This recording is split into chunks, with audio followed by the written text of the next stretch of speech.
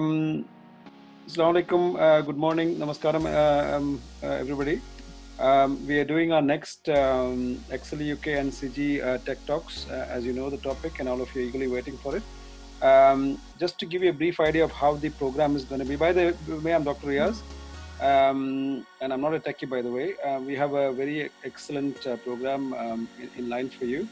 And just to give an idea what the program is going to be, program, as you know, is in two sections. One is about the talks. Um, so we're going to talk about big data and uh, and data science. Um, the initial two talks just to set the scene. Uh, and after that, we'll have a very interactive uh, question and answer session with our expert group of panelists. Um, so uh, just to make the, um, so that the program goes very smoothly, uh, we just like to ask all of you to uh, mute yourself. Please don't unmute yourself. Uh, I will disable the, you know, participants able to mute option so that in the interest that talks go goes on very smoothly. Um, and when we reach the Q&A session, roughly about 50 minutes to one hour, we will have the question and answer session. And when we start the Q&A session, um, what, I, uh, what I encourage all of you to do is as we do the talks, please type all your questions in the chat window. You know, there's a chat window in the bottom. Uh, if you scroll down in the bottom, there's a chat window. And on the chat window, please type all your questions as and when they come.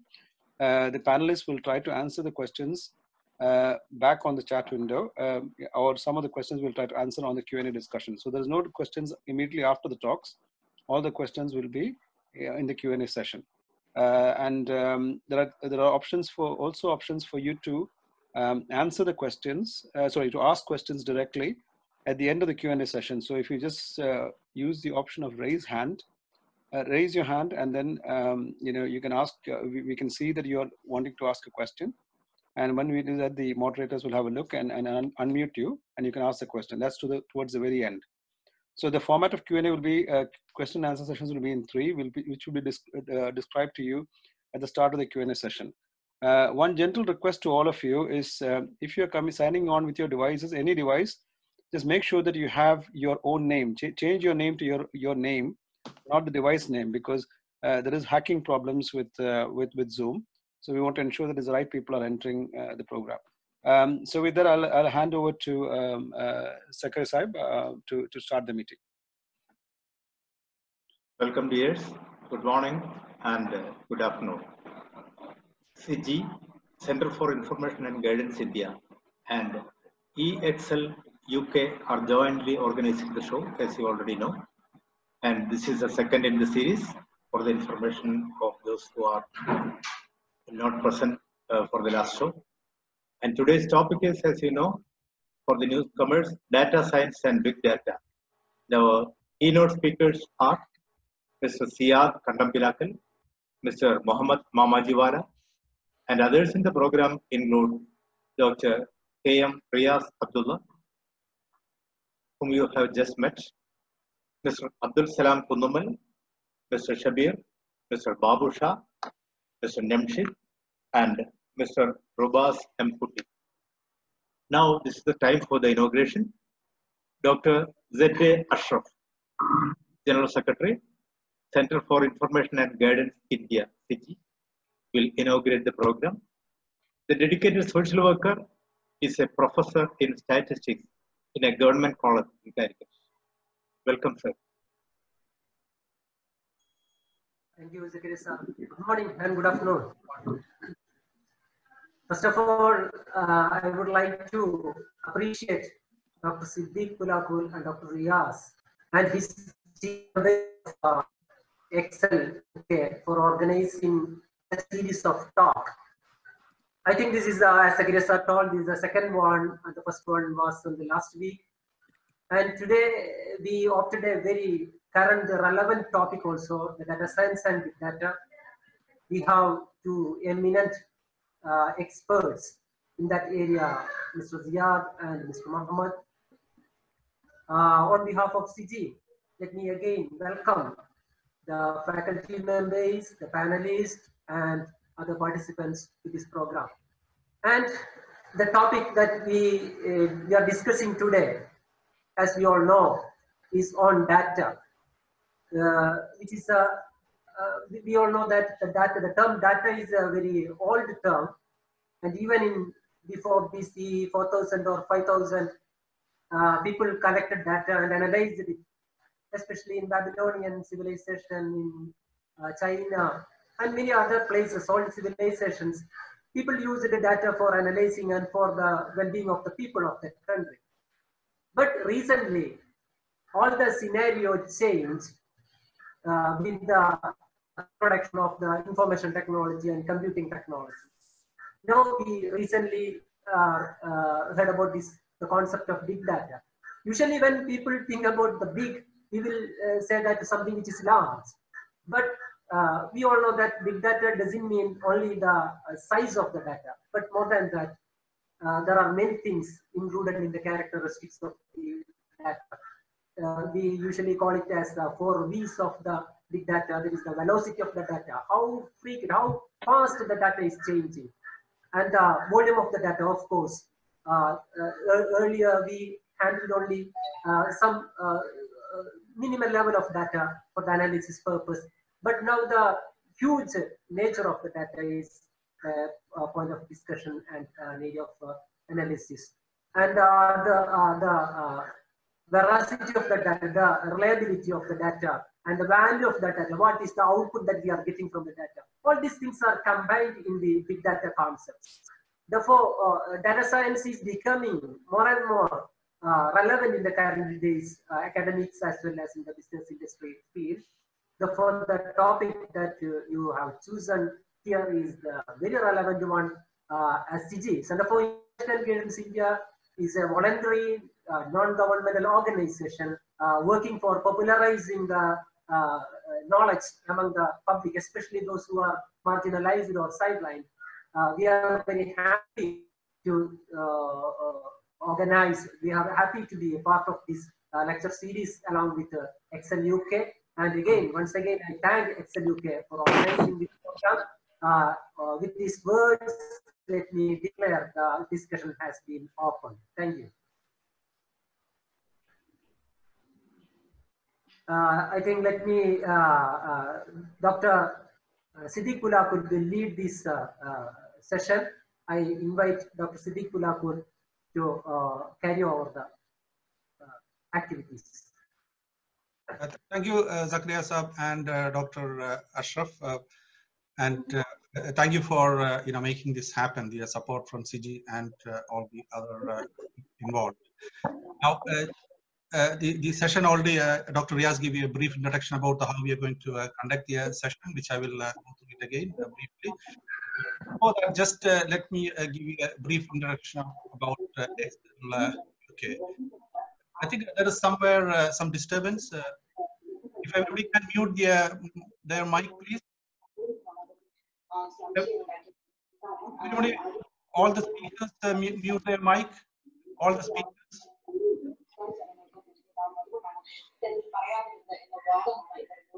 Is all the uh, speakers mute their mic or maybe someone else is listening through the uh, YouTube?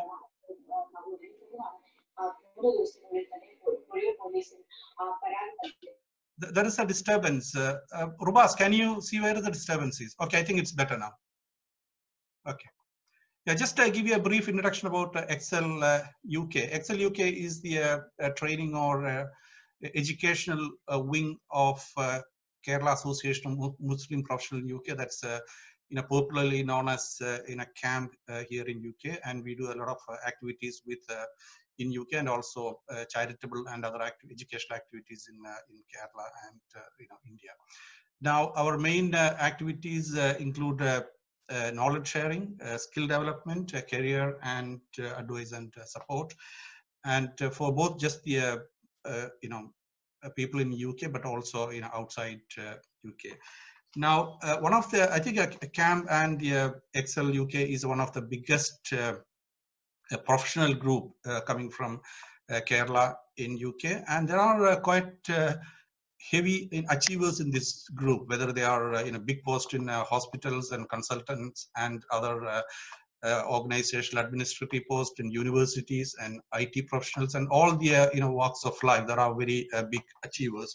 Now let me tell you, all these people are from uh, Kerala or from India with uh, most of them with a very uh, modest start, maybe you know from a small village in Kerala, they came good went to a, government school or maybe even had some financial hardship but they uh, made their way up here with uh, sheer uh, determination motivation and also uh, support from uh, different groups and you know community and people all the way along now what i would like to see is that this is not only a just not a knowledge sharing uh, program, but also I hope uh, these kind of programs will motivate uh, some of you are listening there to this talk. And I would like to say that you have a, if you once you have your motivation and your determination, there is a lot of support available from various uh, people, even from some unknown sources. You can imagine, you cannot imagine now, whether it is CG or UK or whoever it is. And uh, I would like to see uh, hope and uh, some of you are here in next few years.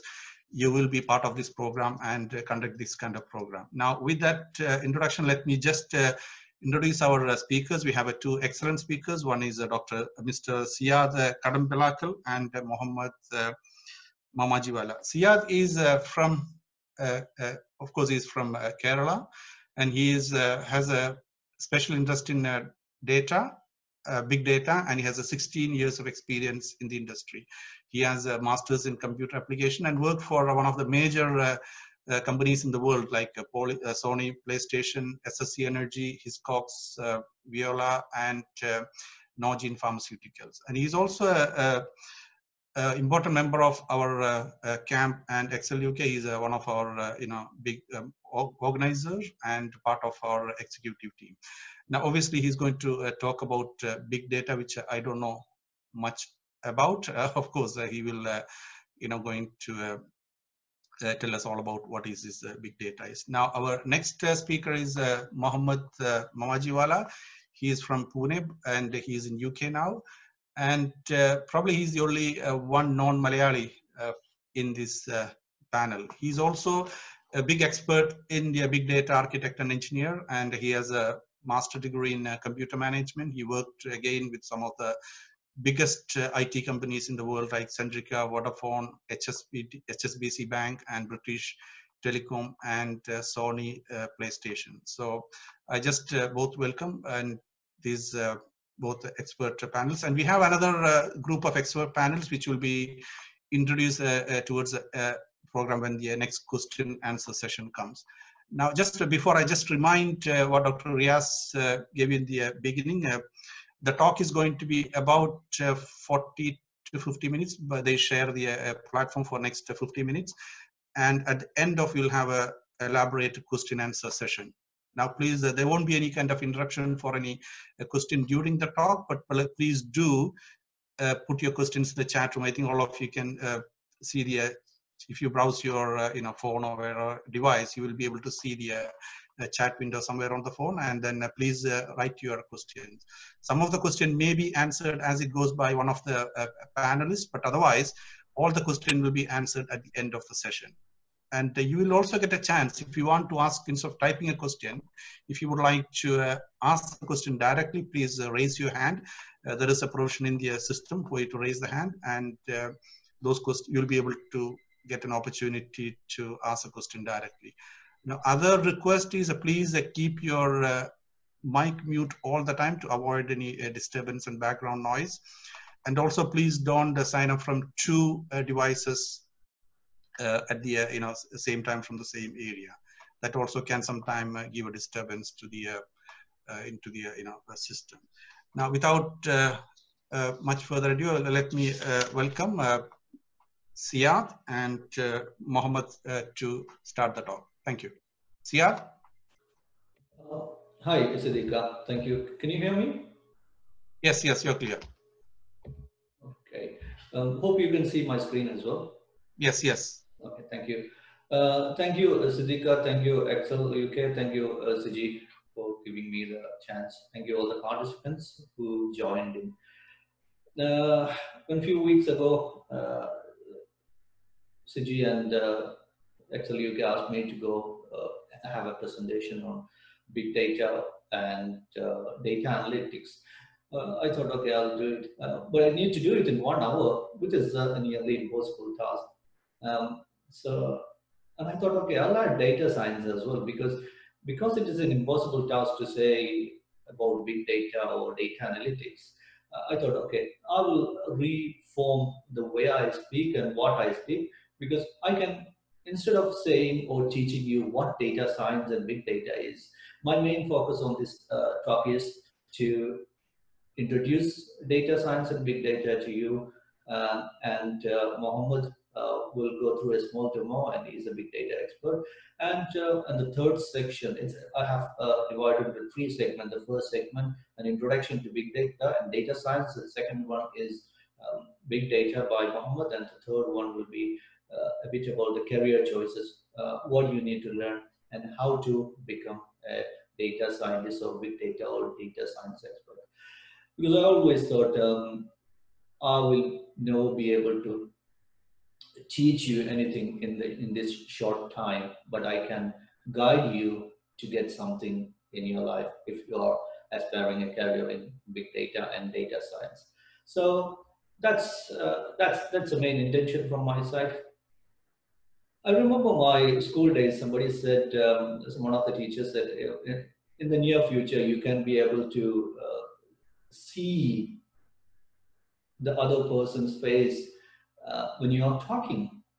And I was amazed. Is it going to be possible? And, and I, maybe after a few more years, and when I was in a plus two, or uh, that time I heard you can touch the computer and a screen and tell that the computer to do something, and you can type on the screen as well. Again, at that time, it was very interesting. Uh, it is just 20 years ago. And uh, if I tell you this, many of you, if you are on your 20s and if, uh, if you are on 20s and, and, and your early uh, teens, you never understand what I'm saying because the technology is advanced or changed that much in the last uh, 10 years. And what is the change? Uh, why it is changed uh, drastically. It is amazing that if you look at now, it is amazing that I'm speaking to you using the spectacular technology. And I'm, I'm, I'm sitting in my home uh, just outside West London, and Mohammed is sitting uh, a one hour drive from me, and you of many of you are sitting somewhere around the world, maybe in um, uh, India, maybe in UK, maybe in somewhere in Middle East or any part of the world, and you can hear and you can see. And, and look at me, I'm a bit nervous standing in front of you. It, it's it looks like very very normal or very just like I'm standing in a stage and uh, in, in front of you. So the technology is advanced uh, in the last 10, uh, 20 years that much. And what are the changes and why it is advanced a lot? And and that actually caused uh, to have uh, a lot of data with us, a lot of uh, talks about big data. We need to use uh, big data and data science as well. So let me move to a small statistics, which is uh, the statistics is from uh, IDC, International Data Corporation. If you look at the last 10 years, how the data has grown in the world, it is actually in zettabytes. You, you will be, you need to check what is zettabytes. It's, it's not a small one. It, it, it goes a lot of zeros after one.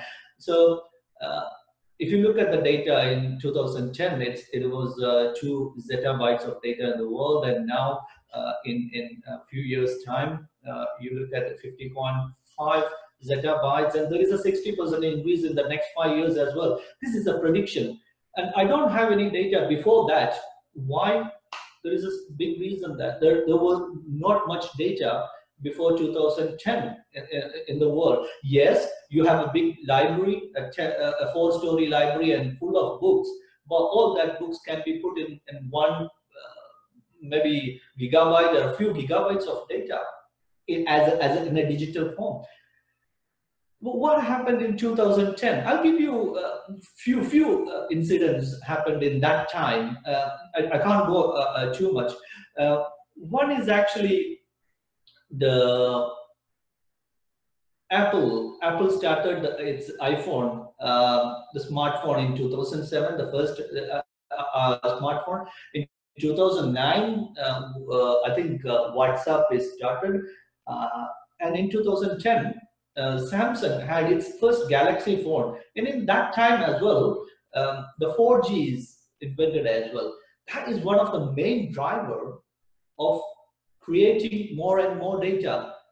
How it, how and why this is creating more data. If you look at your screen and uh, if you everything is data in the screen. What I'm speaking, uh, it, it, it, it is stored as a data. It's a video file, audio file.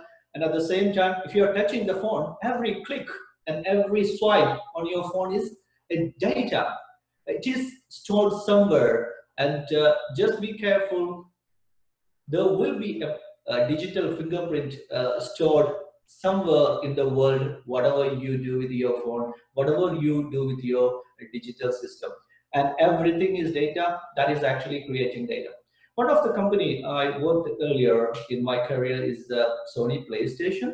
And you all know that uh, PlayStation is a gaming company, one of the most reputed gaming companies in the world. And one of the projects I worked along with my co-host um, uh, is to track the online gaming user behavior. What I was we were tracking is every click in the uh, in, in your game we will be we, we used to track. And we analyze it. And we can find the behavior of the people who is playing particular game who is playing what age group is playing what kind of game. And if they started are they finishing it? Uh, what what age group? So if an age group, a teenager is starting a particular game, are they finishing it? Uh, or the same game, if uh, a 50 year old man is starting it, is finishing it? We, we do many other kind of uh, analysis and statistics as well, like um, how much revenue we are making per game. Um, what uh, what how many trophies each people are getting, how many hours of gaming, how many hours they spend on games, etc., etc and that's one thing another thing is uh, if you if you use your uh, facebook whatsapp and everything it's always data if you look at uh, uh social media and whatsapp it's always data if you uh, uh, because every click everything what you type what, what you like and what you comment this all data it is going there and somebody need to use it that's that's important thing as well and this is a small uh, chart, so sorry, a small picture. You can see uh, nowadays what is the areas which are generating more and more data. You know, the travel industry nowadays, um, you have a lot of sensors, even in cars uh, even in uh, it's not about we, we are not uh, talking about only air uh, flights and etc. Because banks are sending data every second or every minute. Uh, a lot of sensor data they are sending. And if you look at um, the marketing side, number two, number three, healthcare. So if you look at healthcare. If a doctor wants to um, uh, monitor someone's heart, they put a, a, a, a small device and he goes to sleep and come back in the morning. And he can say that oh his heart rate the heart rate is very regular or there are some uh, variations which is abnormal or not. And and the computer will tell you tell him oh this is right or this is wrong what to do or what are the symptoms. And it's the same way uh, if you look at uh, number four social media number five sales and uh, and automation and automation number six which is another uh, important uh, area now. Nowadays um, the automatic uh, auto driven self-driving cars are coming into market. But to do that you need to get data and you need to produce data and you need to analyze and you need to give something back. Number seven is actually insurance and credit sector. This is not only the sector we are using the data we are generating data. There are a lot of other areas we are using the data and we are getting the data. But I, I told you we uh, uh, it is estimated that we have around um, uh, 50.5 uh, zettabytes of data as of now. Uh, one thing which has changed in the last uh, 10 years dramatically is the number of unstructured data we are getting. Before that, there was data in the computer industry. They were storing the data and they were using it. But that is called in a, in a, in a form, a structured form. What is a structured form? Simply they put in, in the table as uh, rows and columns. That's a structured data. But for the last uh, 10 years, you look at, you're commenting, oh, this picture is very good, or you're uh, uploading a picture, you're uploading an audio or a video, and social media posts, books, Word documents, uh, PDFs, everything. So this is unstructured data. So somebody is com uh, commenting uh, or somebody is putting a review on some products.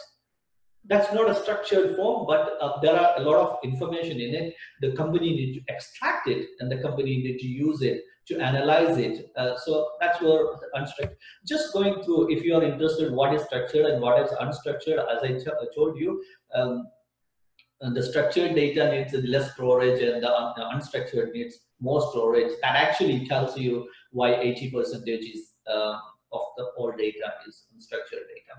So moving to uh, the next topic. Uh, before I, I go to what is data science, what data science is, um, I need to explain, uh, I need to give you some uh, uh, introduction or some idea about why uh, there people are spending too much time, effort, and money on these data. The simple reason is this is a new world and it is a world of data and data is actually actually the money that data is the cash for the company to know that I'll, I'll, give you a small statistics if you are interested in it whatsapp have 1 billion active users and 2 billion minutes of voice calls every day. It is billions, 1 billion users, 2 billion minutes of voice calls every day. Look at Facebook. Facebook has 3 billion active users. What is that worth? Um, this is a statistics from um, uh, Facebook. In, in the last quarter of 2019, for Facebook, they generate 8.5 US dollars per each user. It's uh, we, we call ARPU, ARPU, uh, average revenue per user. That is that money they're generating. No doubt why Zuckerberg is a, a multi-billionaire. He's worth around 76 billion dollar, and um, he's just 36 years old. I don't know. You, you can compare him. Uh, uh, you can you can actually understand how big is that if you want a small comparison, you look at um, the Lulu Group uh, chairman Yusuf Ali. He's around, he is worth, worth around five to six billion. He's in the industry. He's selling commodities for the last 20, 30 years. But this guy is just 36 year old and he's oh, what facebook is selling facebook is selling data your data our data and everyone's data Look at another company, Google. Google is also a data company. They have data storage capacity, data analytical tools, data uh, with everything with the data. One of the biggest company, and you need to follow him, uh, the Google very closely if you are interested in, in data uh, career. So they're, they're a trillion company. That means uh, their parent company, Alphabet, is a trillion company as well.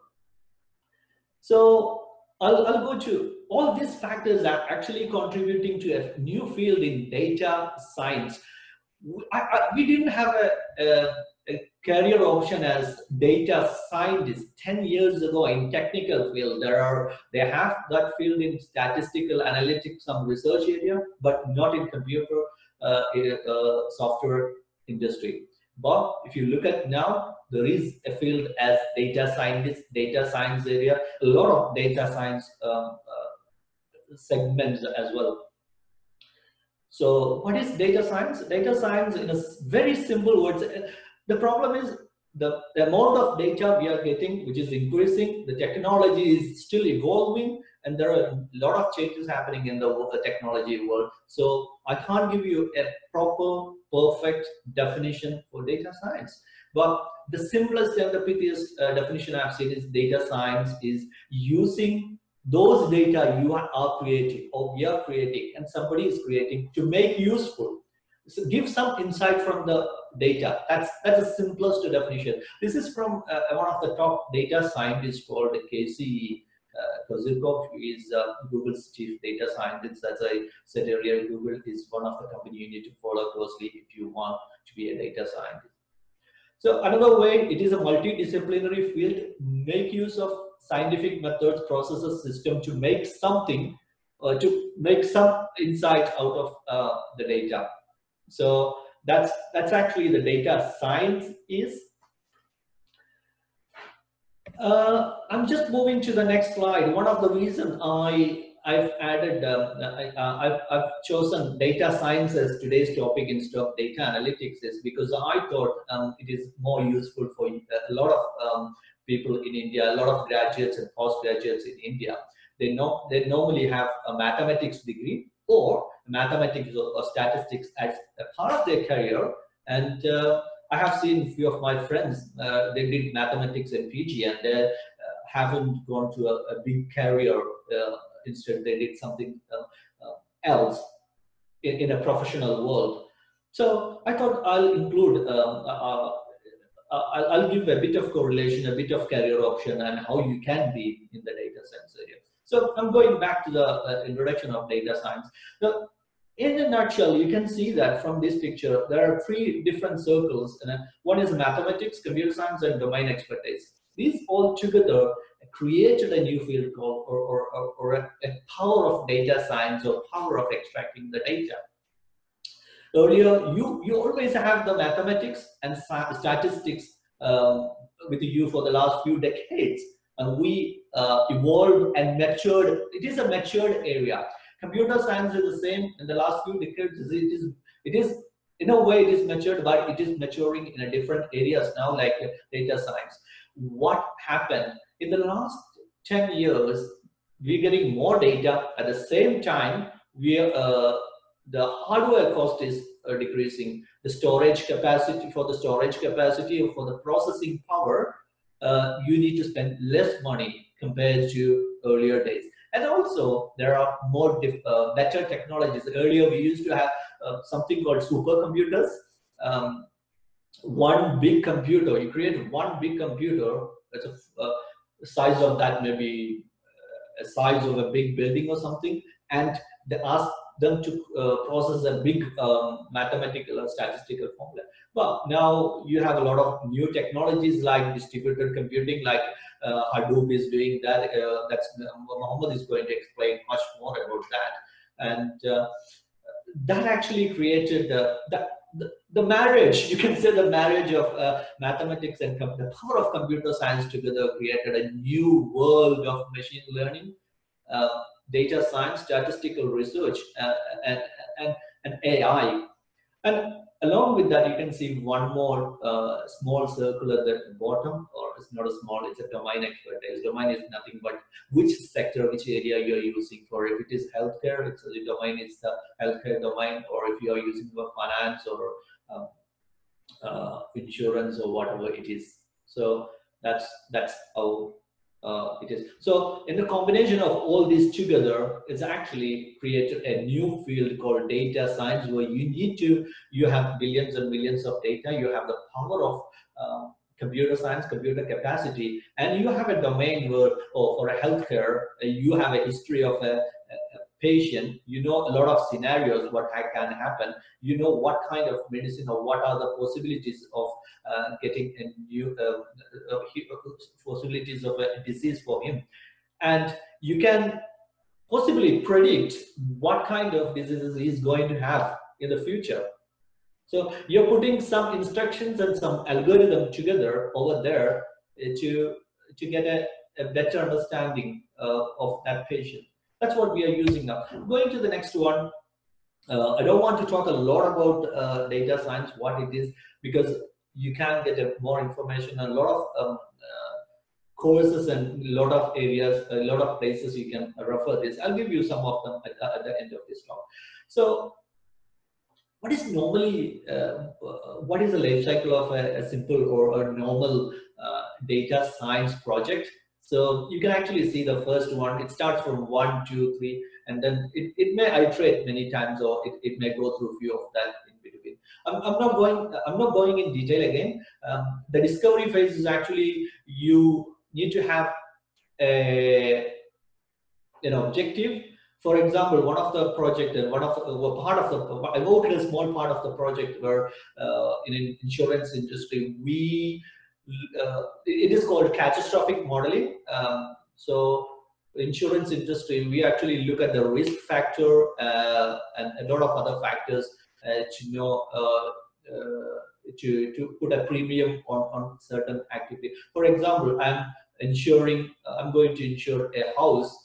in uh, in uh, somewhere in UK, or I'm uh, I'm doing I want to insure a house in India, or I want to insure a house in Syria.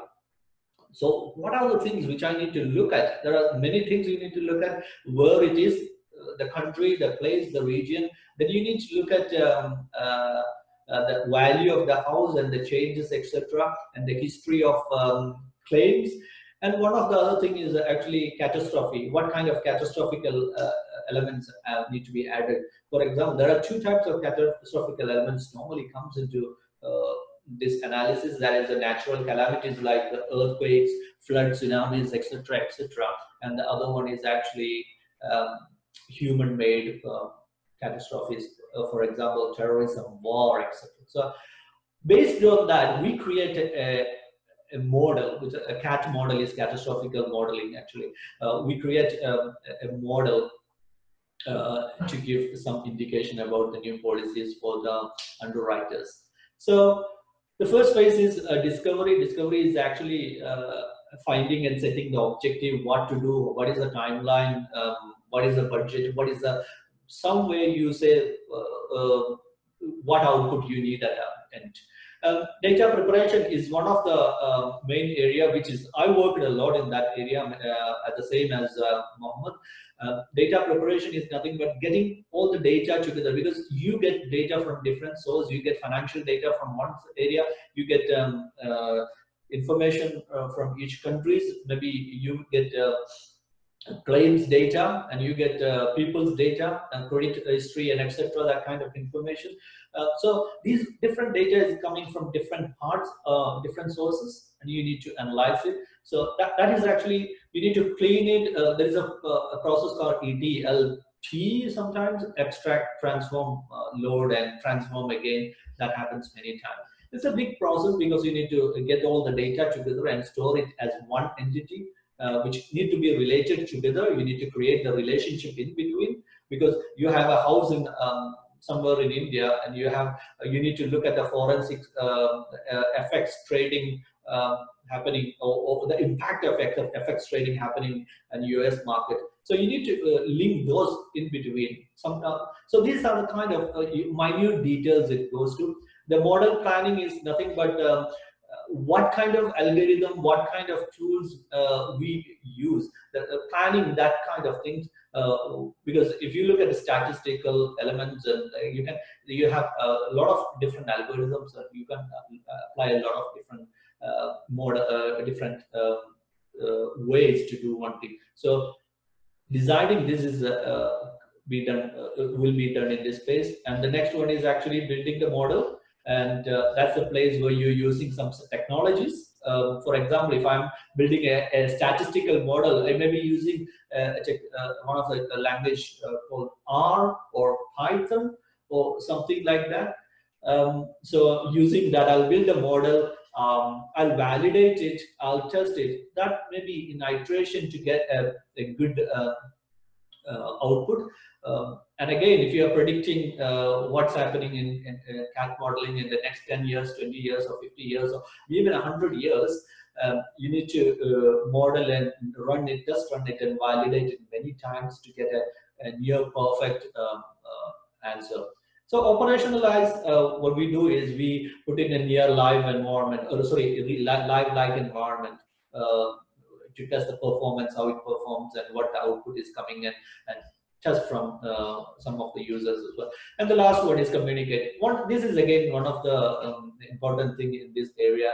Uh, whatever output you have, you have to have a good uh, way of communicating to the end uh, users. If, um, if the executives of the company wants the data, or if the researchers wants the data, if the uh, underwriters looking the data, if doctors are looking the data, you need to communicate in a, in a better form. They can understand easily and then can understand faster because nobody wants to uh, spend more time on reading a big journal and understand uh, this uh, small uh, outcome from the data. So that's an important. I'll go through these some of the areas which you normally use in data science in the next data preparation I touched earlier. This is one of the areas where you use uh, we get all the data from different sources and we, we call it as ETLT, ETL uh, data uh, preparation, whatever it is. So different sources produce the data, and we clean it.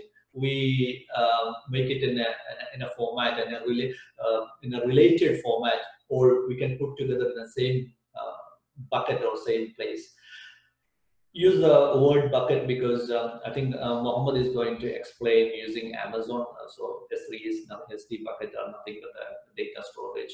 So this is, uh, we use a lot of different tools. Um, uh, historically, Informatica, etc. we were using, uh, used a lot. Nowadays, there are a lot of tools. There are uh, from different companies like um, Amazon Redshift, um, Google, um, and Microsoft have their own uh, different products as well.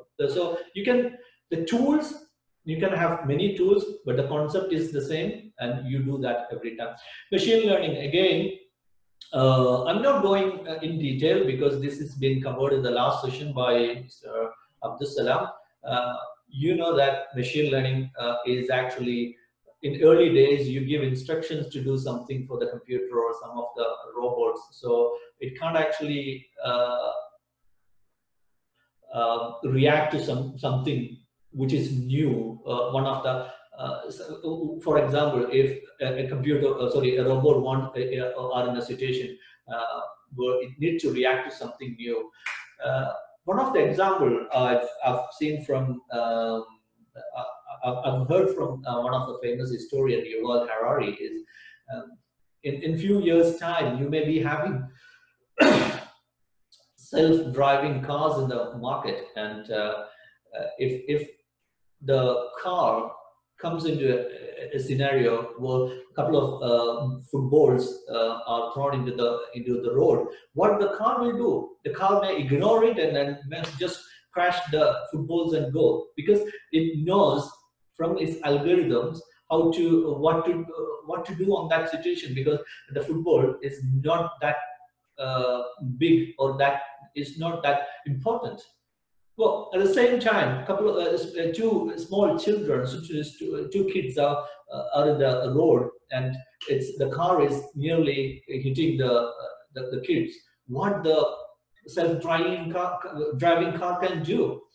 Again, if a, if you are in that position, you will look that okay, you will try to save uh, the life of the kids because uh, that's a human tendency and human side of you but the car, it, it, it, it do, it depends on uh, what is being um, uh, instructed and uh, what what is the priority set on that instruction. But again, I, I, the, the reason I'm saying this is if the car has not given the exact instruction that two kids are going to jump in front of the car, uh, but it have got a lot of other instructions and car can uh, derive a new uh, definition from that to react at that time. That's that's the way uh, the the new uh, computers and AI will be uh, processing and learning things from the examples. So again, what what the car will do over there, it depends on what it has been written. If it wants to save the money, the the car. Mm, of the owner who he may be sitting at the uh, back of the car and maybe uh, sleeping at the back of the car or need to save the two kids which is depends on uh, what is being said there. Again the humanity side is, is it depends on what is being prioritized but uh, the whole point is uh, the, the new world is uh, going to learn from the examples and the data which we already have and some algorithms to predict in the future or uncertainty Again, this is a, a, slide I added from my uh, the last um, session by Mr. Mohammed Mamajiwala, sorry, uh, Mr. Abdul Salam. So um, I'm, I'm just skipping through. One of the most important um, segment uh, which we use in data science area is uh, statistics, mathematics. Um, as I know that traditionally most of our um, institutes in Kerala or India we learn a lot of statistics and mathematics as a part of our um, plus two uh, uh, degree career, bachelor's and master's. Well, even if you're uh, learning, uh, if you are doing your MBA or if you are learning, uh, doing your commerce or any other subjects, you learn a lot of statistics. Um, can you actually use it? That's my question. Okay, uh, one uh, just a question for you. Uh, I hope you can see my screen clearly. How many uh, fish are there in the screen? Uh, is there any um, answers from you? Please uh, type on the screen how many um, fish you can see in the screen. Rubas, please update. Me. Yeah, I think the questions are coming up. It looks like people are engaged. So okay. there are variety of them starting from three, five, seven, four, seven. You know. Oh. Yeah. So seven seems seven seems to be the more favorite. Six. Oh. Someone has said. Someone has typed ten. So ten is the. Uh, okay. You know, I, will make it clear. How many fish you can see now clearly? okay. So two. Two. Some okay. someone is saying three. Yeah. Okay. Yeah that's that's very good. Um, so I have got the answer there, which is a simple question. Uh, you you you may be wondering why asking this uh, stupid question in front of you, uh, because it's a uh, it's a very simple question. Yes, uh, it is three fish you can see there in in uh, in the screen. And again, is it a data? Yes, it is a data. do you think it is a, a statistics, a statistical data? Is, do you call this as a statistics? Anybody? Uh, just type no or yes. Uh, any answer from you? People are affirmative. Yeah, yes. There is no also coming. Okay. Yeah. More, My question is, is, is it statistics? People are agreeing to it. Yes, they're saying yes. Is, is oh, really? Okay. Which is um, uh, a bit uh, uh, surprised. There are a few um, no. There are a few no's also. Okay, very good. That's in minority. Very good. Okay. So in reality, it is not statistics because what is statistics? Uh, okay, now I'll, I'll put another question. Uh, the reason I'm saying it is uh, not statistics because it is certain. You, there is a certainty in it. You can only see three um, fish on the screen, and that is a fish bowl, and you only have three uh, fishes on the screen. Okay, I'll, I'll, I'll rephrase one uh, question, one more. Uh, don't worry, this may be the, my last question. Um, how many fish you can see after one month? Any any answer? Um, it uh, looks like uh, no one has uh, no one is answering. They okay. want to see uh, they want to see all the all the fishes, but yeah, someone has put zero, maybe zero? three. Okay. And uh, uh, someone has typed interesting. Prediction needs some additional information. Exactly. That's and that's someone has said. Answer yeah, depends on variety of factors. They need a statistical projection. Wow. okay, that's uh, that's quite uh, interesting uh, to to hear that. So there are a few things I got is prediction, statistical factors. You need more information, more, more, more knowledge about that. You may need to know that okay, the, the two fish are the friends. Are they on the same type of fish, and one is a male or female? And uh, you need to know how long it takes to have babies for that so, and, and uh, you need to know uh, how good is the uh, owner of the fish bowl. He's actually looking at the fish uh, bowl and changing the um, uh, uh, water and giving food um, and, and the environment, etc. There are different factors, and each factor you can call in statistics, we call or you call variables, and whether it's a dependent variable, independent variable, whatever it is, it's a variable. So my um, answer is that if you're going to predict it, that is always statistics. Again, uh, please bear in mind, this is, I'm not giving you uh, a definition of statistics. Please refer to your um, uh, lecturer or professor and your reference books. If you're uh, going to put down or write down in any exams or anything, please don't blame me. Um, uh, the definition I'm giving you for the statistics. This is the simplest definition I can give you about the statistics. Um, statistics is the science of changing your mind under uncertainty. So it's, it's, my question is how many fish in the next uh, 30 years, sorry, 30 days. So um, how many? It depends on many variables and uh, it's, it's predicting under uncertainty. There are a lot of uncertainty. Maybe you change after 20, uh, 30 days. Oh, there is no fish in that. So you will change your uh, model and your prediction into a different level. So statistics is uh, used a lot uh, or, or one of the main driver or one of the catalyst in the data science field where you need to do a lot of uh, this kind of prediction uh, and you need to form something out of uncertainty uh, you need to uh, uh, create a new um, outcome from a few other outcomes. That's exactly what the ai needs to needs here.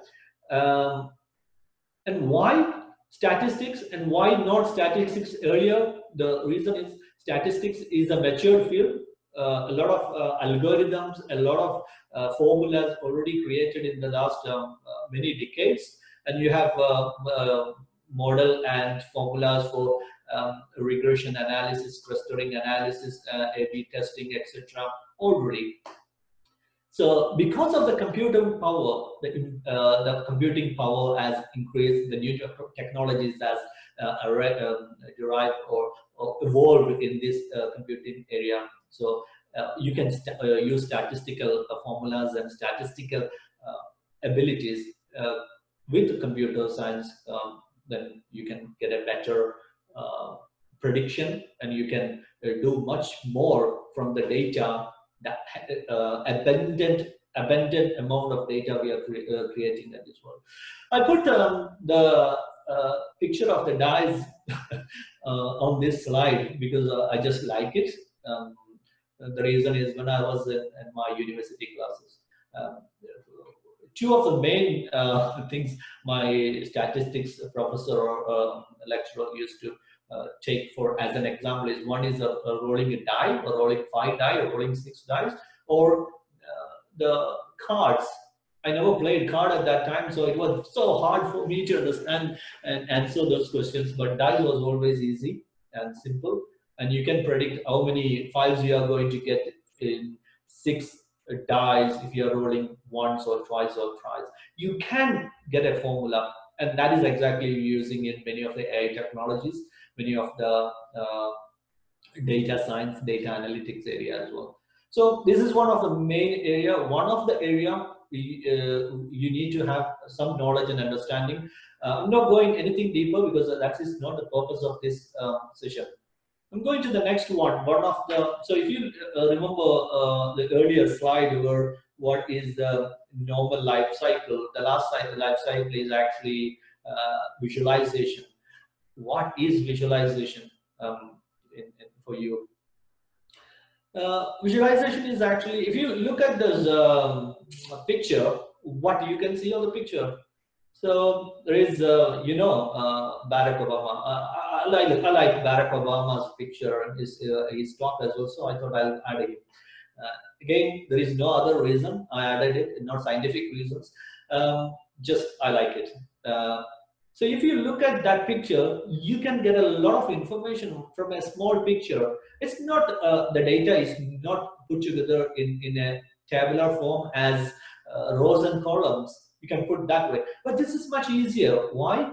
Your brain is designed to capture the size, the color, and the orientation of something much faster than you're reading uh, through a table or reading through a book. That is the way our uh, brain functions. So visualization is nothing but using those powers. Uh, you can read uh, the size of something faster. So you look at that um, photo over there. So you can easily say that, okay, Barack Obama is giving a speech or, or a talk about what? Oh, about America's economy uh, for the year 2010. And from even I don't have the numbers on the screen, you can easily say that, okay, United States have got almost, uh, United States' is economy is almost two or three times bigger than China. Why? Because you can read and understand and interpret that size factor much faster than you read through different data. So this is one of the area which I specialized in, and I need to tell that I'm, I'm uh, and, uh, uh, my experience is more on the visualization side and uh, data discovery and data management, so data uh, ETL kind of uh, sites. So I'm just going to uh, the next screen again. Uh, it's a, I just want to put you through a, a demo uh, of, of, these visualizations. Um, can you see my screen again, Rubas? Yes. Okay, thank you.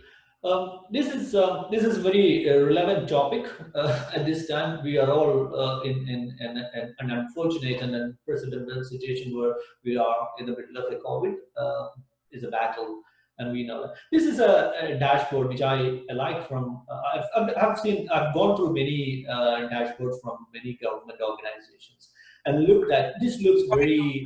sorry to interrupt, Siyad. How much time you would need? how much more time before you? Uh, I just need two, uh, three minutes. Okay, thank you. Okay. Uh, by that time, I'll hand over to. Um, okay, carry on, carry on. That's fine. Yeah. Okay. this is one of the um, dashboard which I like a lot. Um, when I looked at many government organizations, why? Because look at the orientation, uh, look at the colors, look at the size, uh, these three factors, and you can easily say that okay, at the top four numbers, which are the crucial numbers, which is uh, put together in a way that you can easily read and understand. Okay, uh, there are 2,322 confirmed cases and people, 19 people died in so far. This is the latest data as of um, yesterday. And uh, you can see the graphical analysis here. How was the trend in the last, uh, from the first uh, case reported to now? And uh, you can see again, this is a picture. You can easily spot your uh, district and you can see the color differences. Uh, this color, there is a death. Uh, somebody died in this um, uh, um, district and somebody died in this district. And you can look at the color, it's a, it's a bit more lighter color. There is no death over there. So you can easily uh, understand a lot of information from this dashboard and, and from this visualization that is the area which is developed in the last few years as well. Why I'm, I'm uh, giving you an example of this? Because this information is actually uh, generated from maybe you look at the test uh, happened here um, 1 lakh 40,000 in Indian terms, uh, 140,000 uh, tests happened in, in Kerala. Um, I think the data is coming from that many records. So they're, they're, they're analyzing this data and they're producing this um, outcome or insight from this much uh, records.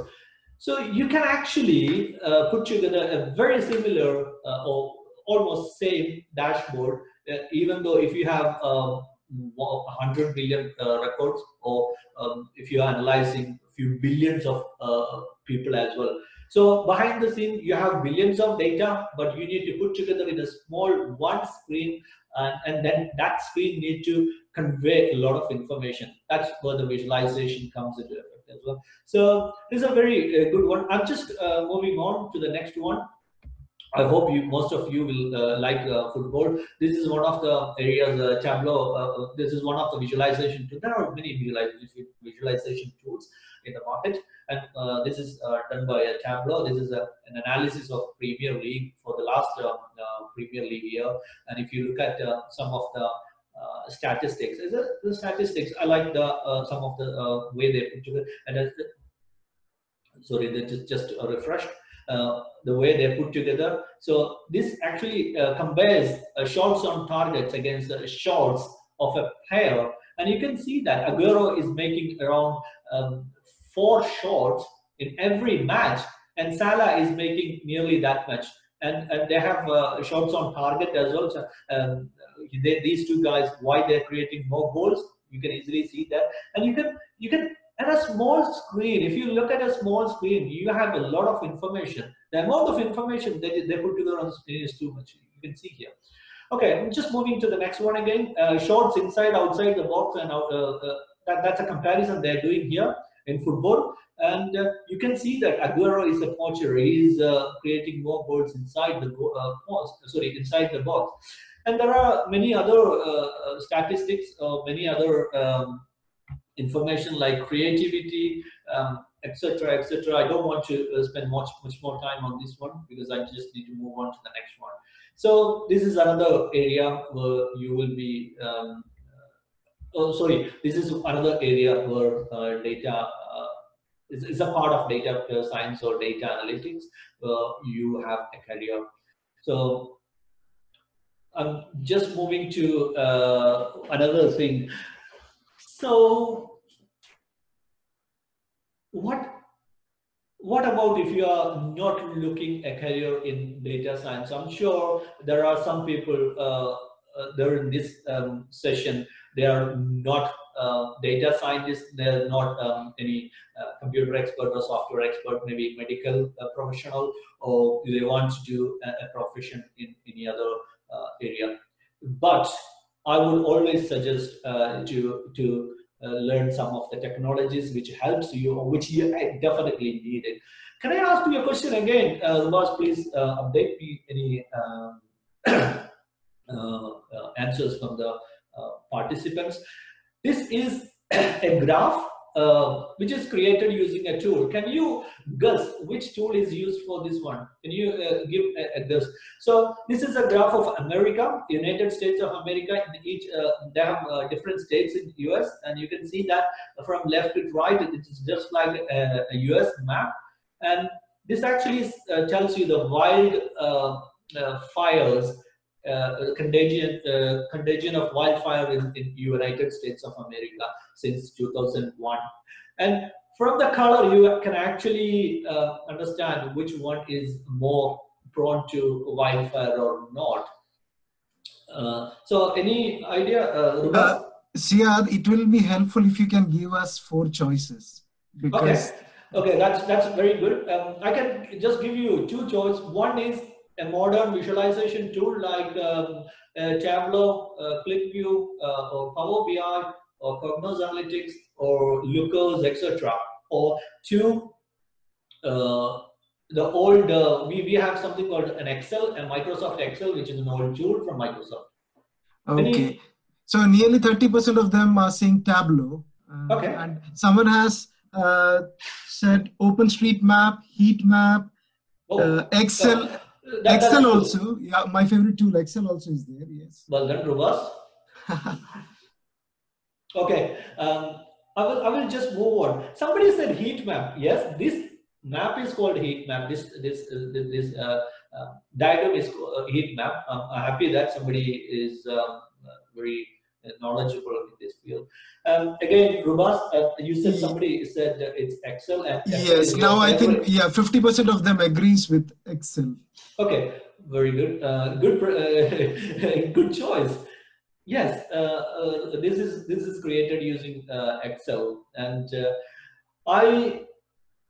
Some of you may be thinking that, uh, sorry, some of uh, you are um, PhD holders in mathematics and statistics. Why you may be uh, thinking why I am I'm going through Excel, but historically, Excel is a tool um, maybe I can say a common man's data science tool, which you can uh, store data, which you can analyze data, which you can produce a different uh, kind of outcome. You can do a lot of uh, uh transformations, etc. as well. So why I included uh, Excel in this data science topic?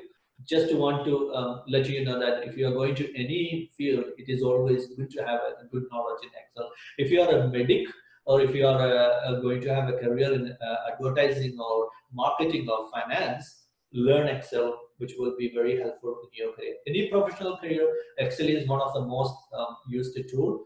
And uh, some way I like it, some way I don't like it because I like it because Excel is one of the best tools from Microsoft ever produced. But I think that many people think that.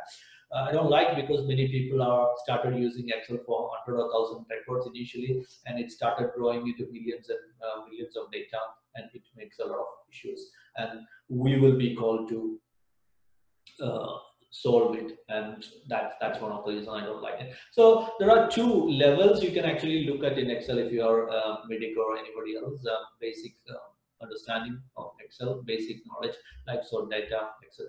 And you can do a lot of amazing things like this uh, using advanced uh, Excel features like VBA, macro, forwarding, etc. Siyad, if you don't mind, can you please tell uh, in what was that, you know, it was done in Excel, but was it done in VBA or some of the macros? Um, I haven't actually looked at, uh, but I can easily tell you that it, it's uh, they just plotted together each cell, I think, and uh, maybe used a, VBA uh, macros as well. Because uh, one of that's a good question. Um, one of my earlier company, um, we have a, a macro expert in that company, he he was um, paid a big money. I can tell you around forty thousand Indian rupees every day to create something uh, like this on Excel. He is just an expert, Excel expert, giving this kind of analysis.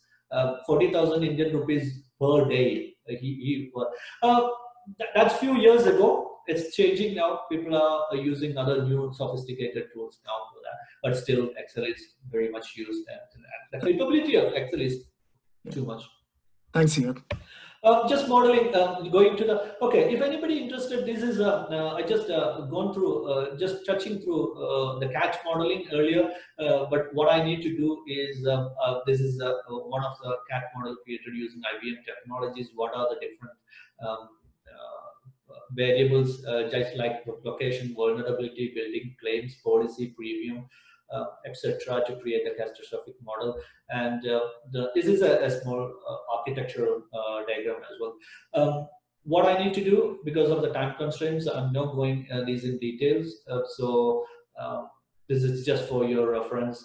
And I want to um, move over to uh, Mohammed. Uh, Mohammed, uh, I'm, I'm handing over this to our Milton Keynes studio. Mohammed is waiting there. Mohammed, can you please take over? Yeah, definitely. Yeah, just yeah, I'll, just I'll share my screen. I stop my sharing. Yes. Yeah, yeah. Can you see my screen? Yes, Mohammed. Yeah. So thank you, Siyad, for quick introduction, and I would like to say thank you to everyone for joining today's tech call. Also, I would like to say thank you to organizer for giving me opportunity to talk today about big data and how big data is being used in IoT. So due to time constraint, let's see how uh, I can give the demo and uh, we can go one by one. Yeah. So let's me go next one. Yeah. So let's start with like uh, Siyad has already touched base uh, most of the points like uh, big data, data science, data analytics. So let me start with big data. Uh, so big data is a data, right? So now everyone knows like uh, day to day, uh, we are getting more and more data.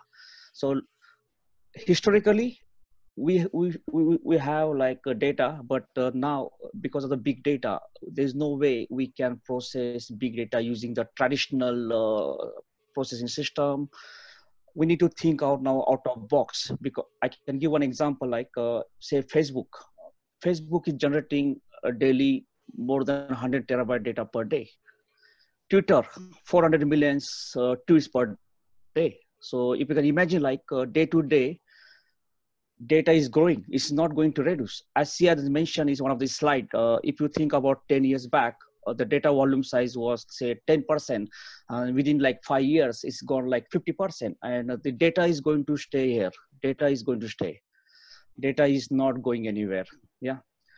So what has changed? Like uh, if you think about uh, previously, we used to process the data because the data volume was very low, uh, the data variety was very simple. Now because now only the human is not generating the data. Now machine also generating data. So we need to think out of box. So how that is handled right now.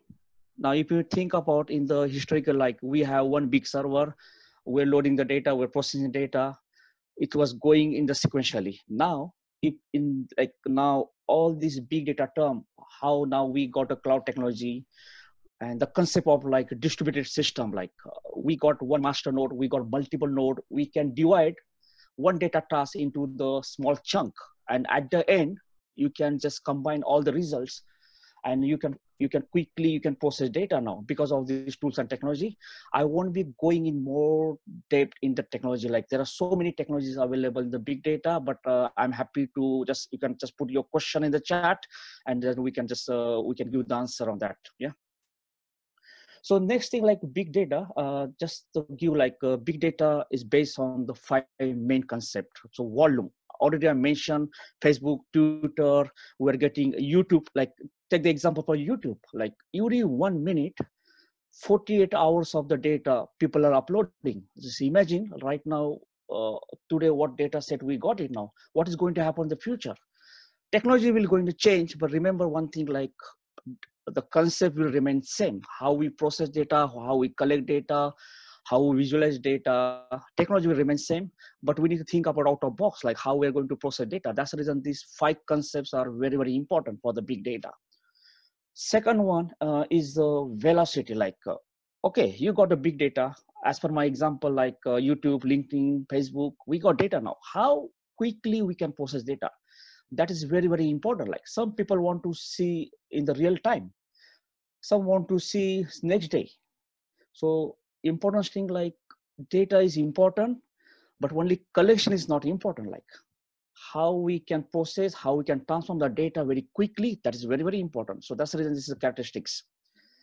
The third point, like if you think about the variety, like uh, as already Siyad has covered the structure, we got the structured data, semi-structured data, unstructured data. But I can give one quick example, like structured data is like your CSV data, your person data, which can be easily readable. Semi-structured data is like log files, uh, which can be readable, sometimes not readable as well, because you don't know, like format is not same unstructured data, which is like very difficult to process, like images or X-ray. The lots of stuff is there. So we are getting now on the machine machine uh, generated data as well. So we got massive, massive data set. Yeah. So we need to process. The next one is the veracity, like how accurate is data. So it's only collection is not important. Like we need to check whether the data is accurate because based on that data, we are going to create uh, data insights. What is the value we're going to get it from the data? So that's the reason I'm saying big data is very important, but you should know how to claim the, your insight.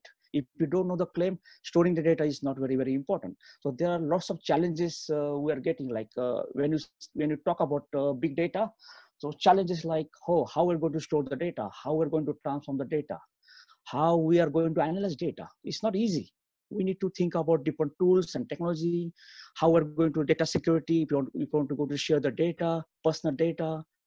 So there's this big data topic is vast, like, yeah, but we need to think about out of box, how quickly we can get this information and uh, what are the tools and technology we can use. Obviously, like we can explain in more depth technologies like simple example, like in the historically, we wish to have simple ETL tool, say uh, Informatica, Pentaho.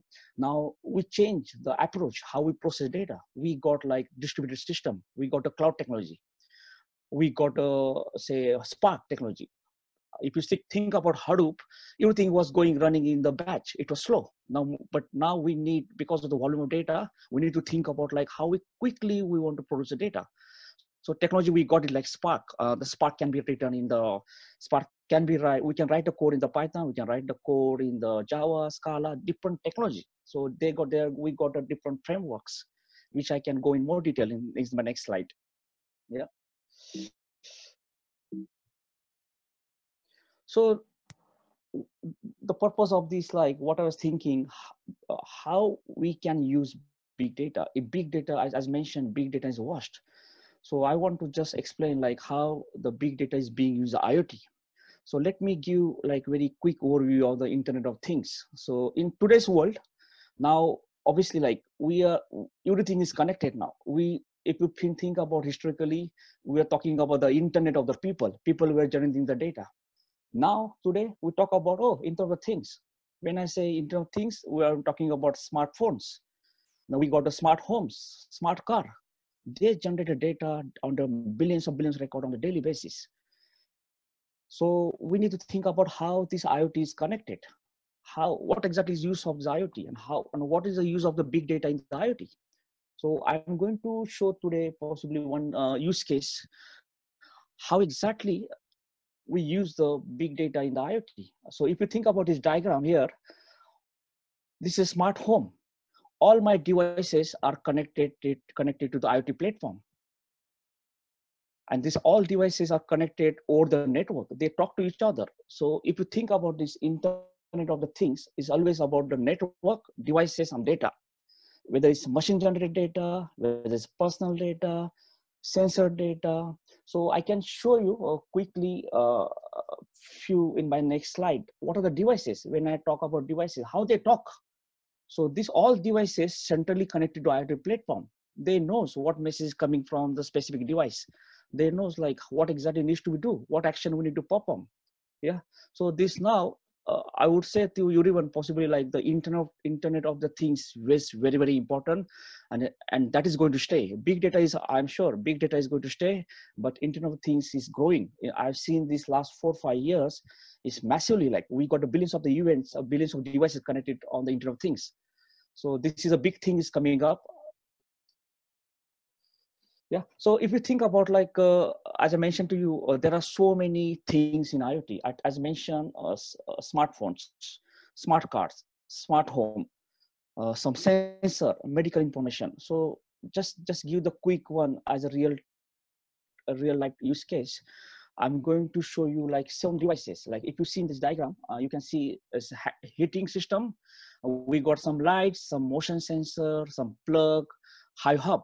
Each device is got their own purpose like what when we can use. If you think about this hyperactive i can show you uh, on my this one. If, if you can see this uh, yeah. Can you see a plug? Uh, yeah.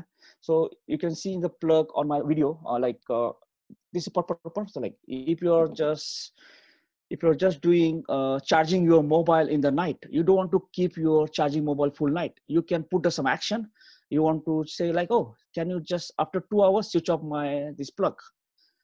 In previous day like we need to do manually we'll have to get up in the morning like three o'clock or switch off the light. Now you don't do it. Just do the action. Just do the perform the action you can do it.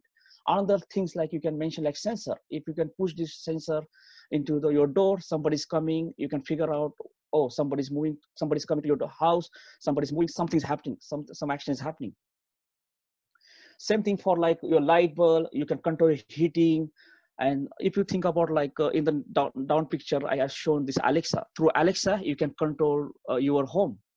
So everything is integrated. As mentioned in my previous slide, all devices are connected to each other. Everything is connected. Only thing like you can control your devices, your home from anywhere in the world. Yeah.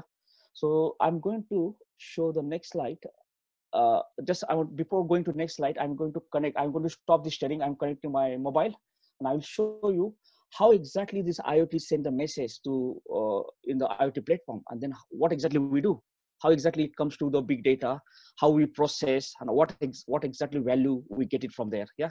So I will share, I'll stop this one and I will share from my mobile.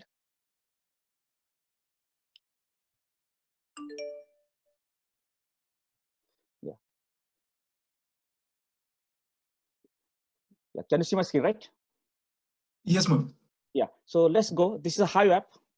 So if you think about, uh, so let me go back quickly. So all the devices, if you see from the screen, all my devices like uh, all the lights, and I got like some motion sensor. So you can think like I just I saw this my motion sensor here. Yeah.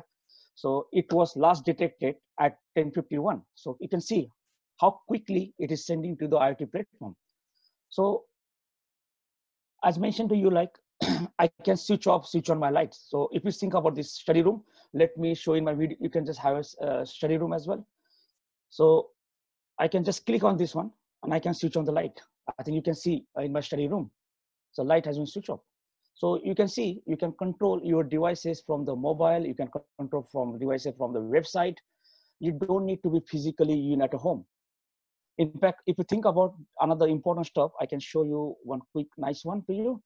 So if you see my heating system right now 20 my home temperature is 18 yeah which are set up right now. So suppose example like if you're traveling from different country you and you want you you you are at the airport and, and now you got one hour to reach at your home and you want to warm house what you can do? Straightly you can just change the temperature. By the time you reach at your home your home is warm. So you don't need to be physically available. So how useful it is, this one. So all my devices are connected uh, from here. So I'll stop this one and then I'll show you now. So whenever I'm clicking here, each event, everything is connected to IoT platform. It is creating the event for us. Now you will be wondering like, what exactly we're doing these events? What exactly, what is the use of like, yeah. for the big data for the company they use this data and also it is useful for the customer like oh once you capture these events you capture like what exactly you're doing from app what exactly you're doing for the system. So i will explain in my next slide. So i will stop this one and i will share my again screen. One moment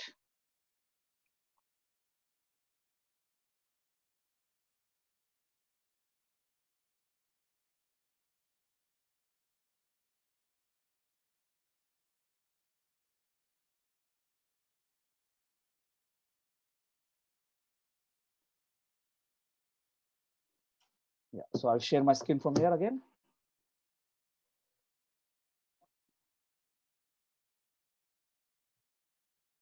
Yeah, can you see my screen? Yes. Yeah, so now you're seeing how exactly I use this uh, app. As I mentioned to you, you can use this app from anywhere, like from the your website, from the your mobile app, iOS, different things are connected to each other. So if you think about next one, uh, I think uh, this is the architecture, how we use big data in the IoT platform. So as mentioned to you, this one here, whenever I click from the app or from the website, there are events are created. All these events are generated on the platform and then we capture. So I mentioned to you like how this big data works end to end. So Siyad has mentioned obviously like whenever we want we want the data we first collect the data we perform some action it generated data.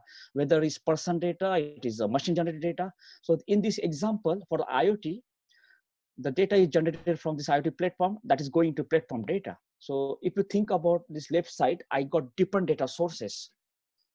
So when i generated data from iot we got like some app data because you're doing something on the your mobile app. You're doing something on the web app then you're calling the operational guys creating your account you're creating your your your you're the new customer. So if you think about i'm collecting all the information here. So your web data for the security reason just i mentioned third party data. I don't want uh, the part some partner data. Uh, we got the payment system. So everything is linked together. Now as mentioned to you uh, this IoT platform, what I am doing here, like uh, this this technology can be implemented anywhere. Like uh, we got like different cloud cloud is available. We got AWS, Azure, GCP, but I can just quickly I can show this how end to end architecture work in the AWS. But technology can be changed at any time, but concept will remain same. The collection data, how we transform the data, what are the business logic we can apply, and then we can hand over to the data science team what exactly they do it with this data what value what business value they produce from this data. Yeah. So if you think about like when i click on this iot platform through my mobile app uh, just i switch off and switch on. Also i shown the sensor how the data were created so that is using going through the IoT platform, the cloud, and we capture, we we collect that data using this ETL. So already Siyad has mentioned ETL, extract, transform, load. Uh, you can use many technology like whether I use the Pentaho, whether PySpark, Scala, depending on your requirement, uh, this tools technology can be changed. Yeah. So once I collect the data, and now as mentioned by Siyad as well, like uh, this is a bucket, like we need to store the data so as mentioned like see collection is one part like but if you don't know how to claim the value of the data there's no, no use. So when when we talk about big data always we talk about collection speed and transformation and then how exactly we're going to do store the data and how it is easy easily available to the, our end users or data scientists data analysts so that they can do the machine learning stuff on this data and also uh, do the this uh, visualization like to get the insight from the data. So my one example uh, like whenever we do like obviously once we collect the data from the iot platform uh, from iot platform we store the data on the bucket. So in amazon we say s3 uh, like simple uh, simple storage service. So everything is amazon like is services. I'm not going to go in more detail what are the services they provide but as the big data things like how we use that data we should know what are services important. Concept will remain same like you need the storage you need the processing power. So as volume volume of data is huge and huge and uh, we want to see the real time streaming data. You want to see immediately like oh once you got the data you want to see like what are the what are the devices online? What are the devices are offline? Yeah. You want to see your customer base. You want to see oh how many devices uh, uh, specific person got it? Like oh which devices is popular? Okay how the devices they are using it. How it is coming to us? Everything is coming all this information is coming for the data. Is coming for the big data. This iot platform generated generated by the machine generated data the data sometimes data is wrong. So that's the reason uh, i mentioned in my big data concept your data accuracy is very very important how exactly data you process is very important. Yeah. So think about like once data is landed to s3 bucket uh, then we process to the transformation and then then that data can data can go into the data warehouse whether you want to use data lake. So tools and technology can be anything different. How easily once data is available transform the data science is very very important part. As he had mentioned it's very very important like because we need to get something from data. We need, we need to show what is the value for the company what is the value for customer.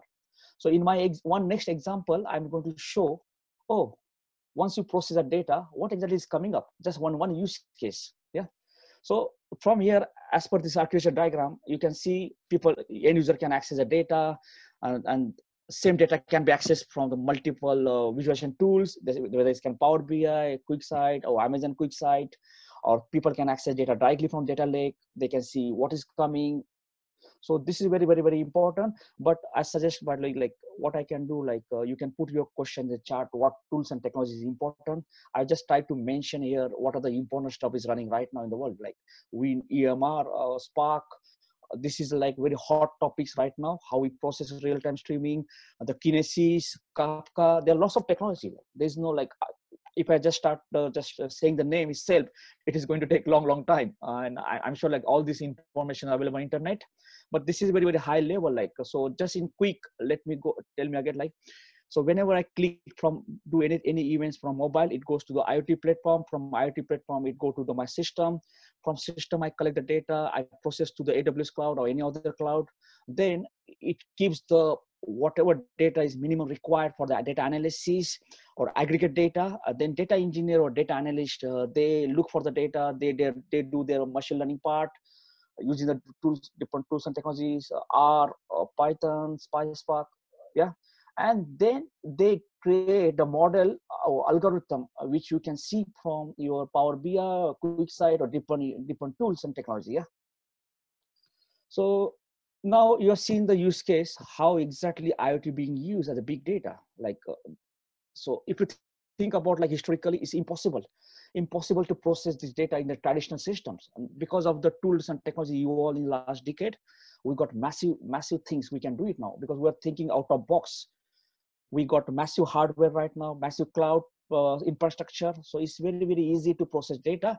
But as mentioned earlier like it's a big challenges like uh, so how how you capture data what's the format transformation this is you need to think about end-to-end process.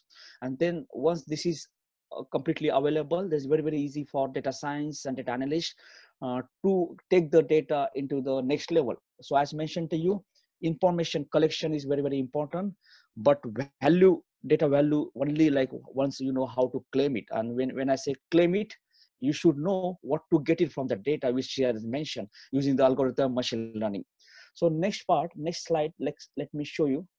So if you think about the data came here then data science team uh, they have done the, all the transformation and also machine learning algorithm. And then i'm getting this one email. Okay. Oh how i'm using the my heating so it looks like oh the average daily high temperature i'm using like 22 degree so for the customer perspective, oh, that means I am using the heating massively. Think about like it is also comparing. Uh, if you see down, it is comparing the low next to your homes, like near home. They are using the less 0.2 percent. That means I am using the more. So using using looking into this email itself, I can see yes, I think I should reduce my heating. Or this is how IoT is useful. Same thing for the sensor data. Another example i can give the netflix. Example netflix. So netflix like obviously you watch the movies on the netflix at home. There are more than 100 millions uh, customers on the netflix. Uh, you watch the movies. How they knows which content they need to put it? Because they collect the data from the netflix. Whatever whatever you view the whatever you watch the movies they collect the data. And from from there they can figure out easily like oh this this number of the customers or this particular segment they like this specific movie. So this is how the big data in the iot whether it's iot or any say medical field or so in short i want to say the data or big data is going to stay. And also obviously iot is very very important. Everything is connected and this is not going anywhere and as per the cs uh, slide if you think about next 10 years right now we got say 100 million users suppose say netflix. Possibly after like uh, next five years we'll be getting like 200 million 300 million. So data is not going to go down. Always data is going to remain same there. So this is what i want to show. But there are different use cases as well. Like just i've given only one this high temperature. But also you can figure out like what are the like most popular devices. Oh what are the main purpose they are using? What time they are coming? When they are coming online offline whether once you purchase the, your device whether you are using it or whether, whether you're not using it. So everything is connected with this data and this is how we know because of the data. If there's no data if if there's no data generated by these devices or the human there is no way we can figure out what exactly they want what exactly what's their behavior. So another example i've given in my slide here. So omniture data so simple example like how you use your app. What are the what are the things you use in the app? Whether you use the whether you connect through the web application whether you connect to the mobile application there are so many things.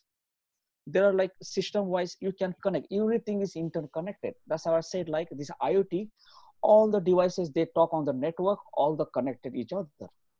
And there are different use case. So i try to just mention one use case and but there are many many use case uh, which is very good for the company as well also for the end customers. So everything is a link. In short it the data to the data science or data analyst everything is a link. Uh, this is depending on you guys like how you implement and how you get the value uh, from the data. That is what i want to show today. I think I think that's it from my side. Uh, but uh, as mentioned, like uh, if you have any question, anything you can put in chat, and uh, we'll try to we'll try our best to answer. And I will hand over to the Siyad, and uh, he will take care of the next part. Okay. So thank you very much, everyone, and thanks for listening to me. Uh, I know it's very short, but like due to the time constraint, I have to just make it very quickly. but any question, just put in the chat. Okay. Thank you. Uh, thank you, Mohammed. Um, it was uh, very good, uh, very good insight to what you said. Uh, to everyone, Mohammed is a lead architect for that uh, project, and he put together all those uh, almost himself with the help of, obviously, with the help of the team. So I'm moving to my the next segment, and this is the last segment, and hopefully, this is, I think, which I can give more value to you if it is possible.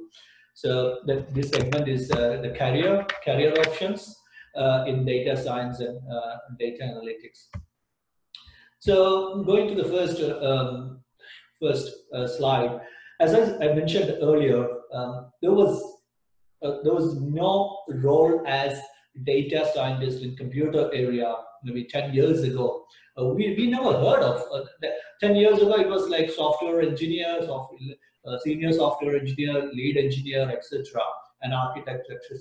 Well, nowadays, more and more uh, roles are coming in the market and prefixed with a data, data analyst, data specialist, data visualization uh, specialist, data scientist, data engineer, etc. So what is actually uh, that means?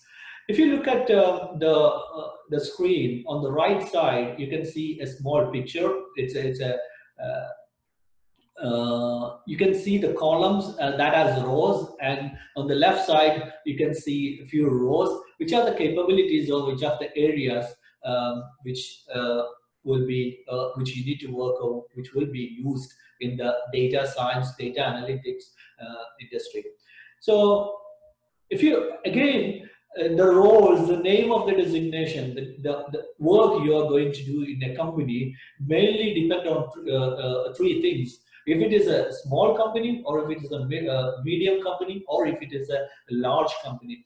If you are in a small company, you uh, you will be called as data scientist. You will be doing all the programming. You may be loading the data. You may be doing the statistics, and you may be presenting it as well. Um, maybe you have only one or two person. Maybe you take uh, the statistical side and programming and presentation. Maybe you have one more engineer, maybe a data engineer. He look after the data, collect the data, and uh, uh, do a bit of uh, cleaning and uh, cleansing of the data and getting into a better shape. That's a small company. But what about medium? Then you medium companies may have a bit more budget, so they have a, have a, a data engineer or a software engineer to load the data. Maybe they have a data scientist uh, to look after the scientific and um, uh, predictive analytics and uh, etc.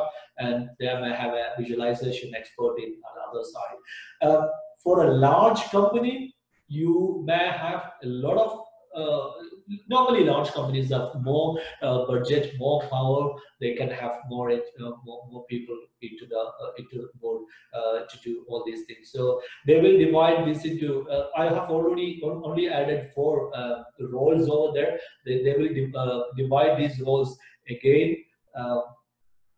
like the first one may be a data engineer, uh, it is software engineer.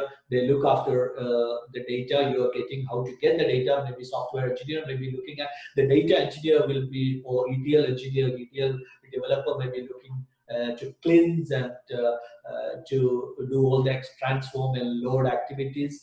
Then at the next level, you can actually uh, have, uh, uh, you can see here, you can have a statistician or a machine learning expert. These all, these all may be a different post, a statistical um, research analyst, some, sometimes a data research analyst, uh, machine learning expert, uh, they call machine learning expert, um, data wrangling, again, you have a different position once you get that.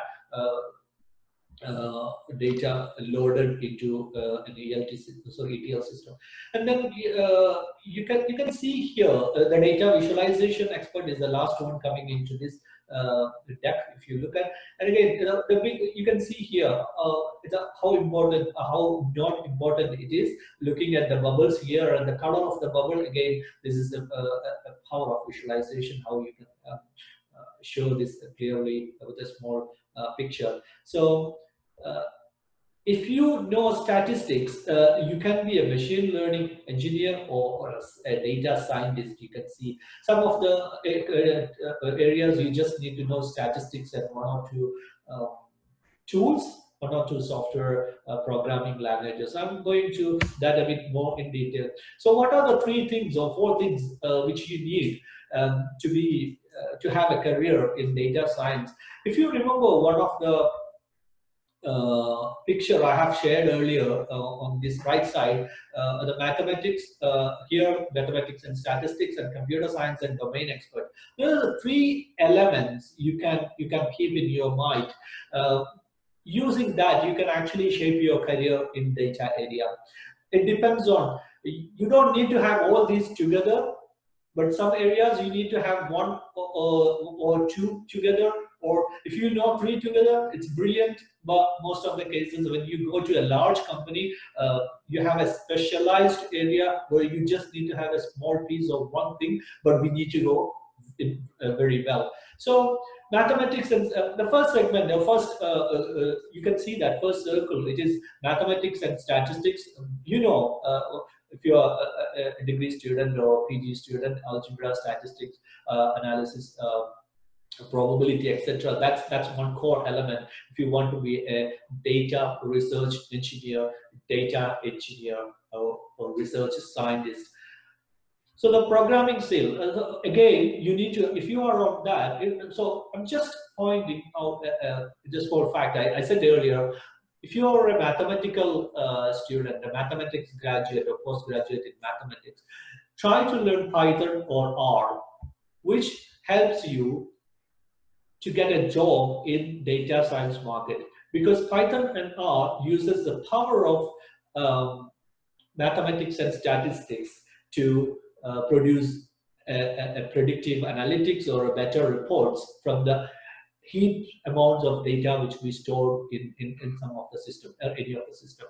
And another important uh, uh, skill, which I tell you that SQL, again, uh, whatever you are learning, uh, if you want to get into one of these careers, please go and learn a bit of uh, understanding, uh, a bit of SQL and uh, have a, a, bit of understanding on that. Again, and uh, there are different tools. I'm not saying about the tools. There are different tools in the market you can follow from different companies.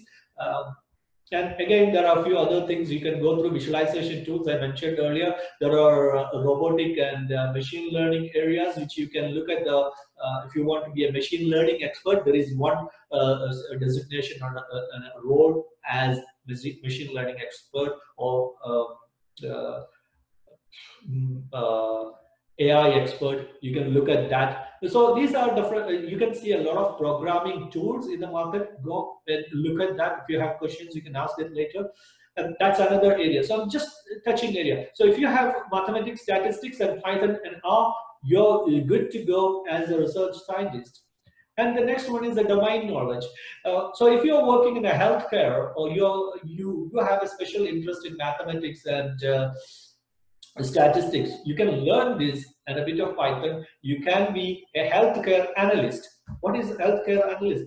There are a lot of jobs coming into market like finance analyst, healthcare analyst, insurance analyst, retail analyst, marketing analyst. What they need to have, they need to have the problem solving skills and to use one of these tools, uh, maybe visualization tools. If you know R and Python, that kind of thing is very good as well. So these are all the three uh, things which we mentioned here, mathematics, computer science, domain knowledge.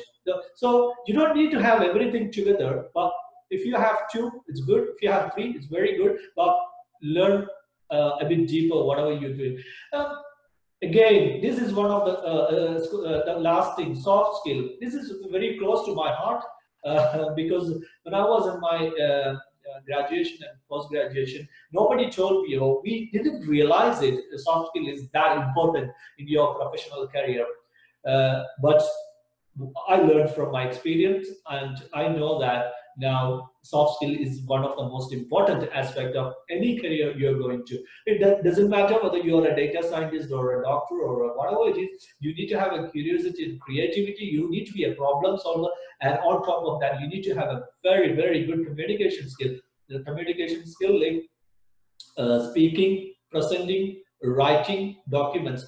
If you have a spare time, write some document and publish somewhere. Uh, look for that kind of activities which helps you a lot uh, to get a good career and it helps you your career if you're already there as well. Um, and obviously you may ask these questions, uh, I thought, uh, where you can learn, which is the best place to start with. Um, obviously, it depends on which area you need to go. Uh, if you want to go, uh, if you are a mathematician, if you want to learn uh, R and Python, I will, uh, I would say that there are a lot of education platforms nowadays. There are many, many like Udemy, Coursera, edX, LinkedIn, Linux Academy, Udacity, etc., etc. They are very good. There are very good courses. Uh, look the reviews. Look at that. Some of them are free. Some of them are just um, a, a few uh, dollars maybe uh, the money somebody spent for a lunch ten dollar or something uh, ten dollar fifteen dollar you get a lot of good courses in these platforms. Another one i just noticed last week when i was referring to this one uh, if you're in india there is something called uh, nptel uh, that's a central government initiative. Uh, it is also called swayam. Uh, what does what is that? It's actually central government is i think funding for a lot of in the uh, IIT, IISc professors uh, to create their own courses and to do the course, which is absolutely free. And this is being taught by I, uh, IISc and IIT professors. So you can look at this site and you can uh, join that. And if you want a certificate, they will give you a certificate. You need to do uh, pay uh, uh, 1,000 rupees so I thought it is good if you just want to have a feeling of uh, a board and they I've, I've, looked at a couple of them. They have a, a board and they're writing to the board and teaching that way. Uh, and the proper, they, they are good uh, top professors and uh, in India. And the next one is obviously if I if you want to be a machine learning expert an AI expert, This is the place which I look at. The next one: IBM, Google, Microsoft, Amazon, etc. These are the top four companies which uh, are in this industry in the data industry, um, and they have their own courses. They have their own certifications. You can do the certification. They have their own best practices, uh, white papers, use cases these are very important if you aspire a career here. You can read and you can learn and you can certi- get certified before you come out of uh, your um, education um, like graduation or post graduation which helps you a lot to get into the market. Today's market is very competitive and if you already know these things the companies will be happy to uh, get you on board easily uh, other than somebody don't have this experience.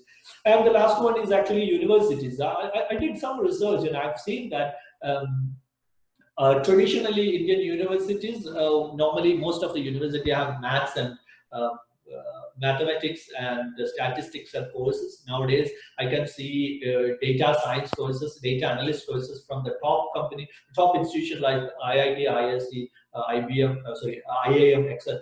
So, uh, and, and many other uh, universities as well. I haven't had a look at in Kerala universities like Calicut or Kerala. maybe CIGI is the best place they can you can get a help from.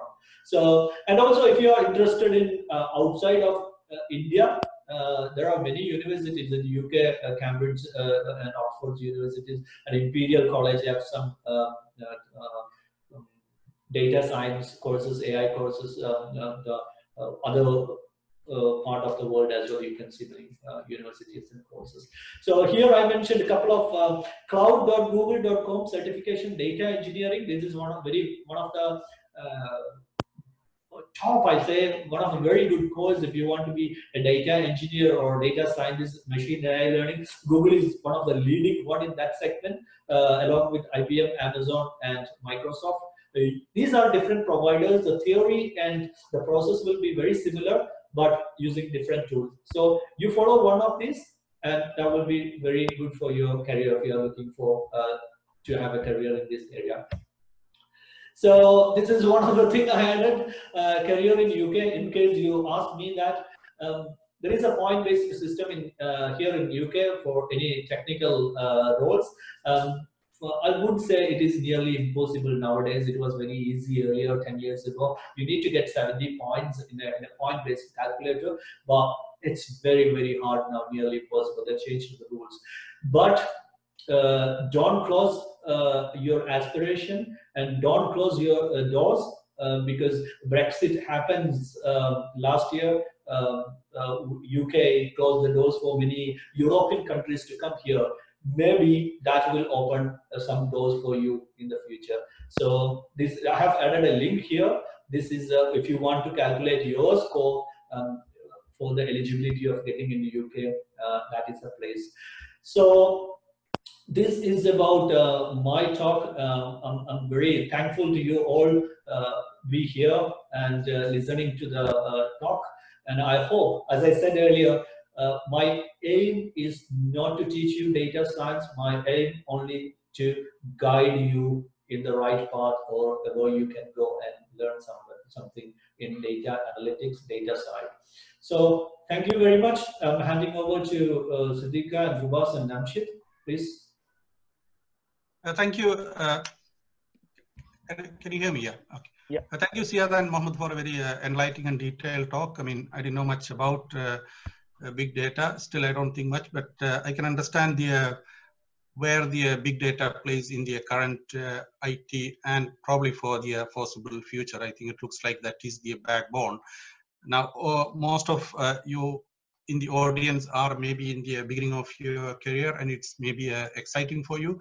So please do, uh, you know, if you think that this is your area, please do go along with it. Don't be uh, stopped by any of the uh, negative factors, whether, you know, you don't have the money, I don't have the connection, I don't have just what you have. please do, uh, you know, uh, go ahead. I'm sure, you know, you will where you would like to be. Now, uh, this is the end of the first session. I'll just uh, hand over to Dr. Riaz to do the uh, next session. Dr. Riaz is the uh, main architect of all these uh, programs. He's a he's a, a, medical consultant, but I'm not sure anymore because I see him everywhere. but probably very little on the medicine front. now, um, I, I, think I yet to see somebody with the amount of energy and passion and commitment to you know help people and fellow human beings like uh, Riaz and may God uh, bless him. So I just, without much of uh, taking a lot of time, I just hand over to uh, Riaz to proceed with the next session. Riaz? Yeah, thank you, uh, Siddiqa. As we affectionately call him, I think uh, that is quite a generous uh, introduction. I think a lot of people are uh, doing a lot more than me, but I hope all of you have enjoyed thoroughly this this session. And I think I got to admit myself, um, being a doc, medical doctor, I didn't know much about data. Apart from that, uh, you know, in the hospitals, we asked our statisticians to, uh, or, or, our data analysts to do the data for us. And, uh, you know, we play around with the graphs, um, you know, what they have done. So, uh, you know, it's been fascinating to see insights into how this data is being produced, how it's generated, and what are the applications. As we all know and we agree, you know, from this, uh, you know, fascinating talk, both from Siyad and, and uh, Mohammed, um, that data, we live in the current world of data we know the uh, the politicians in the world use the data. I don't know if it's called as data crunching, data wrangling, whatever. The COVID times, it's all about data, and we rely our life is revolving on that. Our healthcare, it's on data, um, and we can't underestimate the importance of this important uh, uh, the, the, importance of this of this of the subject. And then, uh, one of the ideas was to see what is actually happening in the world. We last week we you know last session was about machine learning, and now we're talking about data. And when we're putting all, all, of this together, especially for an audience like yourself, who is just actually coming to the world um, in, in your careers, majority of you, it, it, makes a big, big difference. So let's talk about the various questions that we have. I think um, we, like I said, we're going to do this question and answer session in, in, in, in three sections. Um, so um, first of all, we're just going to introduce our panelists. So I know we've run off uh, run over time a bit, uh, maybe about 20 Sorry minutes for that. over time. Uh, so, you know, we probably will try to compress the session. Um, I can see a few uh, people dropped out maybe because of the time.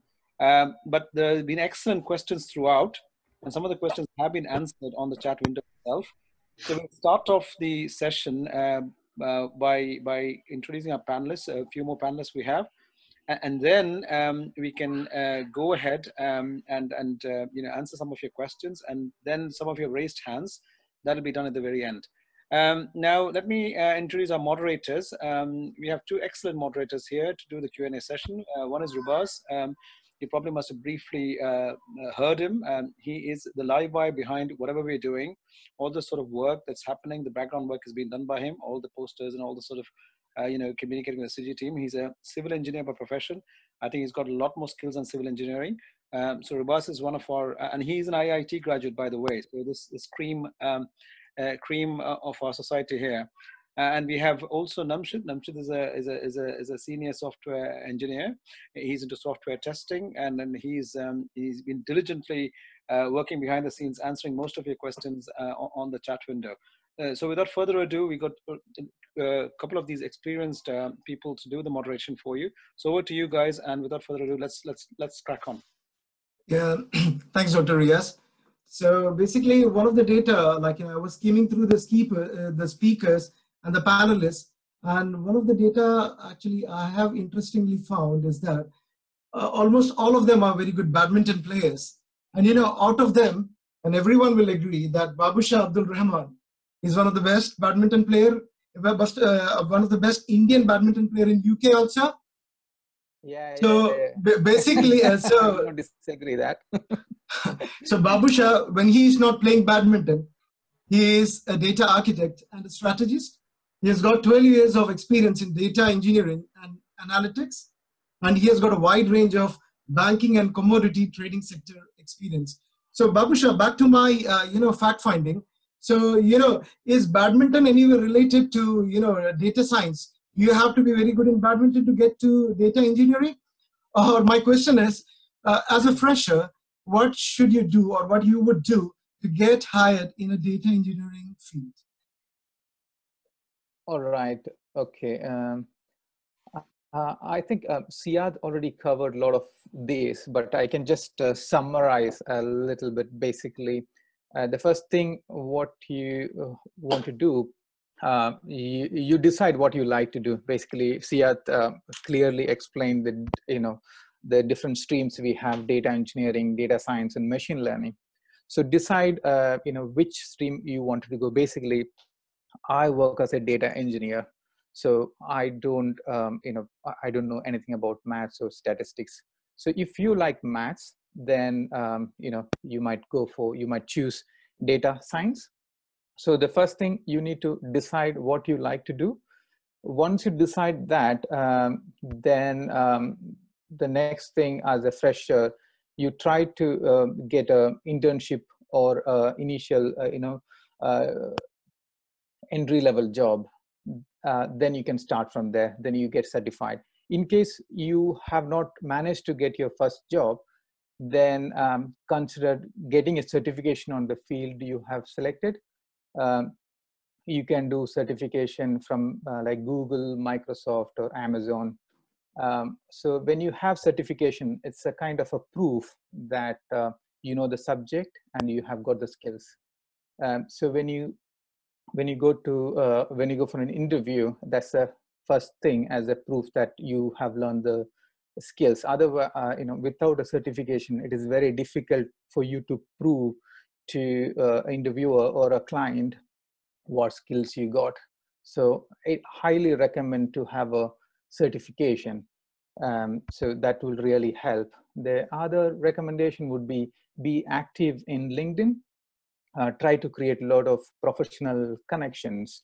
Um, then read articles related to your subject. Write articles. Be be very much uh, you know uh, involved in the discussions. So uh, through linkedin you would be you know you'll be top of your subject basically um, then uh, get a, a, github account do project maybe you get sample project from github you can get a lot of codes from github um, then other things like uh, yeah uh, as someone mentioned in the chat uh, try to once you learn the subjects try to get the get into cloud cloud technologies you get free subscription you can try it yourself all the tools. Yeah so you know the courses you were saying is more like udemy or coursera. Is that the certifications you like we need uh, no basically you can you can get set if, if i'm uh, you know for a data engineering you will have courses from um, you know google um, certification you can do or maybe azure certification uh, from uh, microsoft so this will help you but to prepare for the certification you can do courses from udemy or maybe um, um, Pluralsight, they provide free uh, certificate. You know. So you can can do uh, courses, free courses from you uh, Pluralsight for Microsoft uh, certifications. Thank you, Babusha.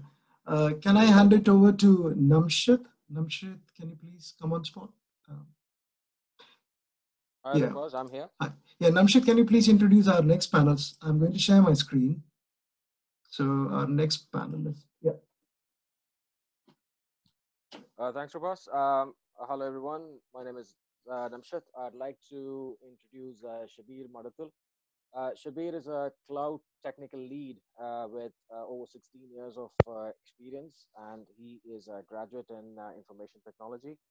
Shabir has worked with companies like Sesame Technologies.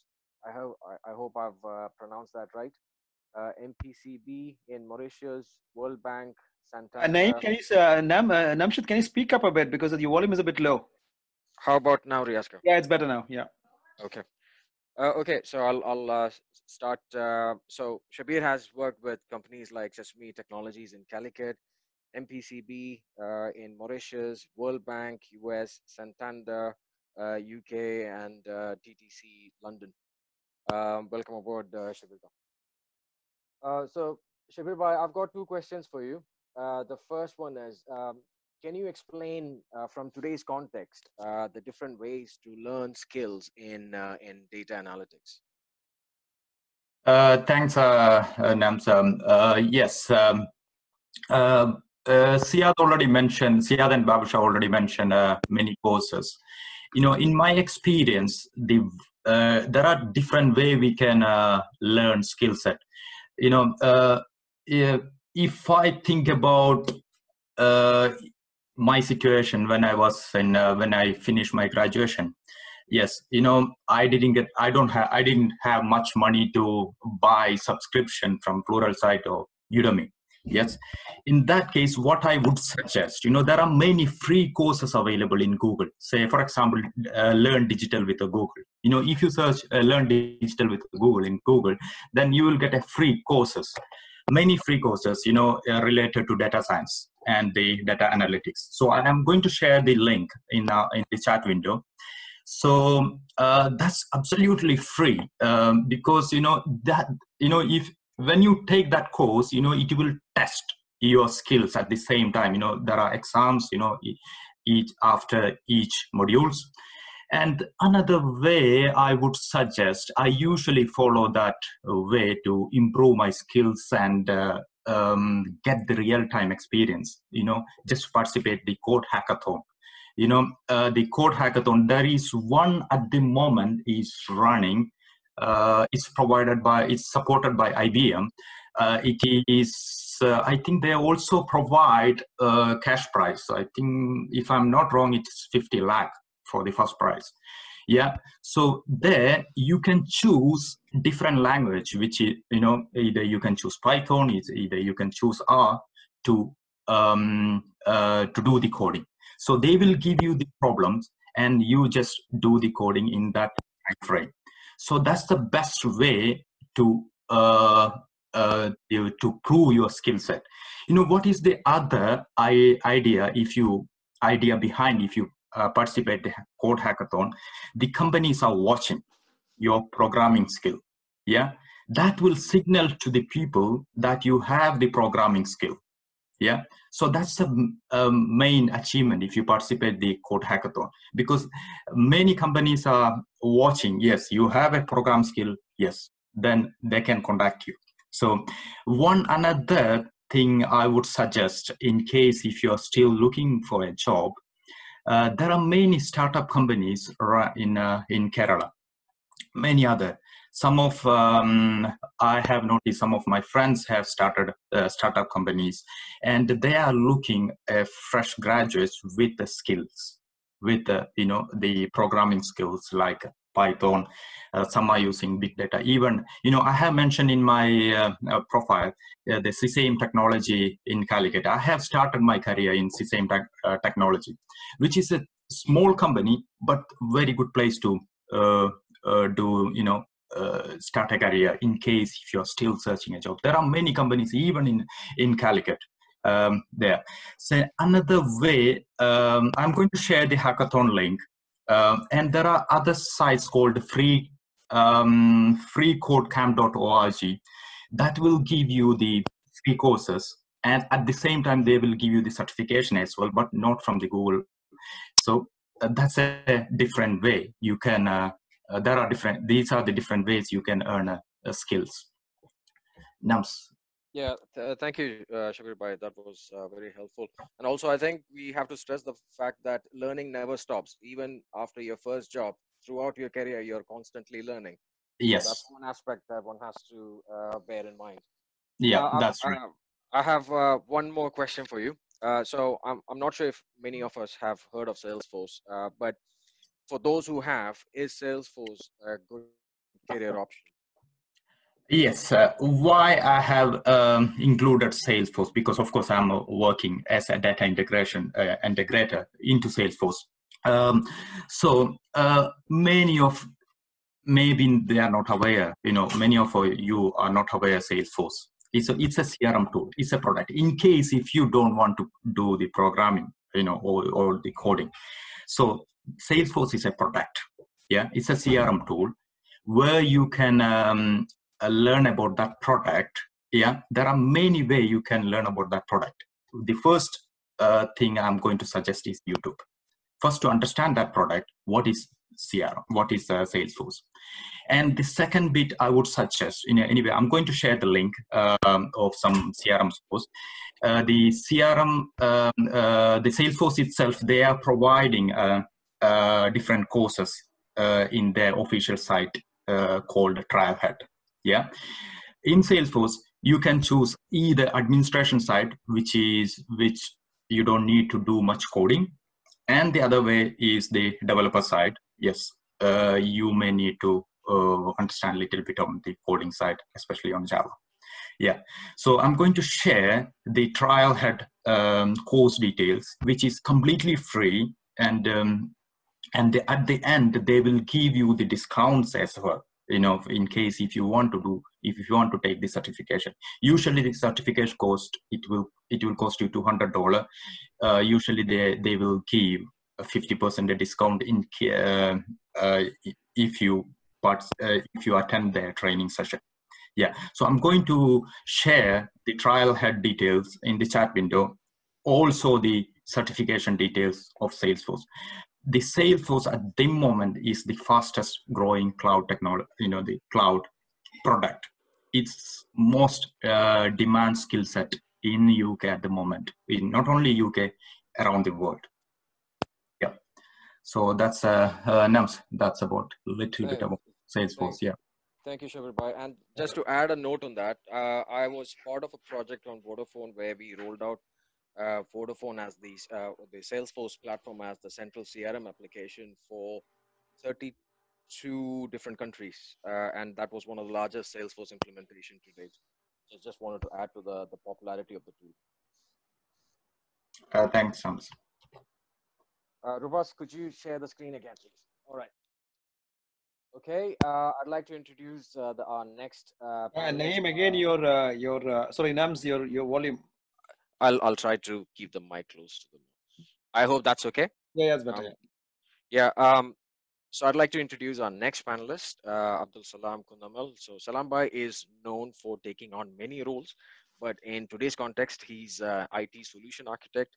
He's been working in the industry for over 22 years. Has done masters in com computer applications uh, Salam Bhai has worked for some renowned companies like HAL India, Siemens UK, Mercedes-Benz UK, uh, NS&I uh, in UK, and he has uh, certifications include Enterprise Trainer, uh, Google Certified Architect, and Amazon Web Services Architect Professional. Um, Salam hope you're doing well. Uh, I've got two questions for you. So the question number one is, um, we have uh, seen and heard in uh, that the political leaders are using big data for their advantages, uh, especially during elections. Um, can you shed some light on how they do it and what is the ethical stand on this one? So, Salama, it's not audible. I think you're on mute. You're mute, I think, Salam.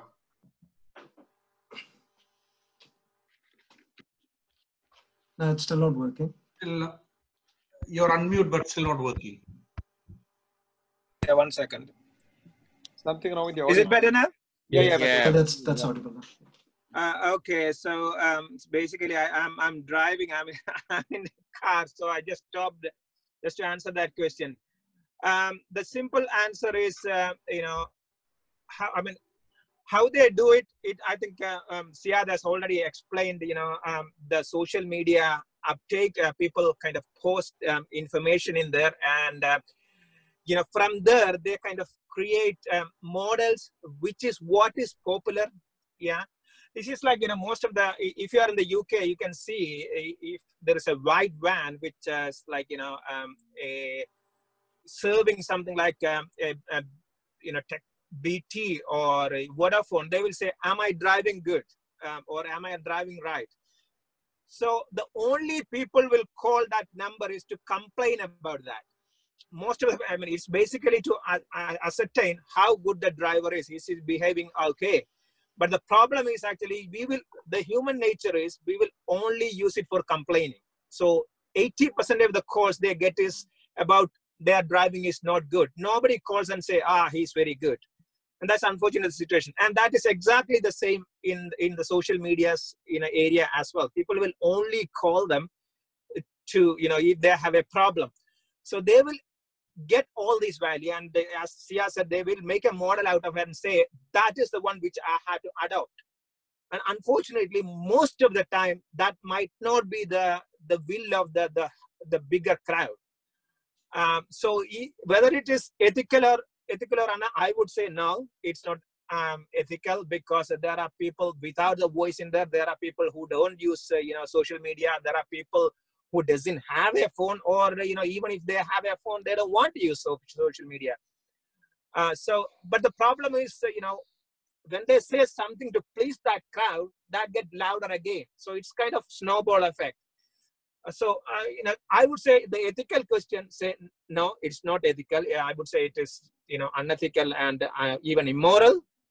Uh, but unfortunately we will live in a world of uh, you know social media and you know people like um, uh, you know trump has used it very very well and uh, you know uh, and in, in india as well modi government also has used it very well and uh, the simple answer is it's not ethical but unfortunately that is exactly what is happening All right. Uh, th- thank you. so much. Jamshid, can I just add one, one, one line on Yeah, that? please.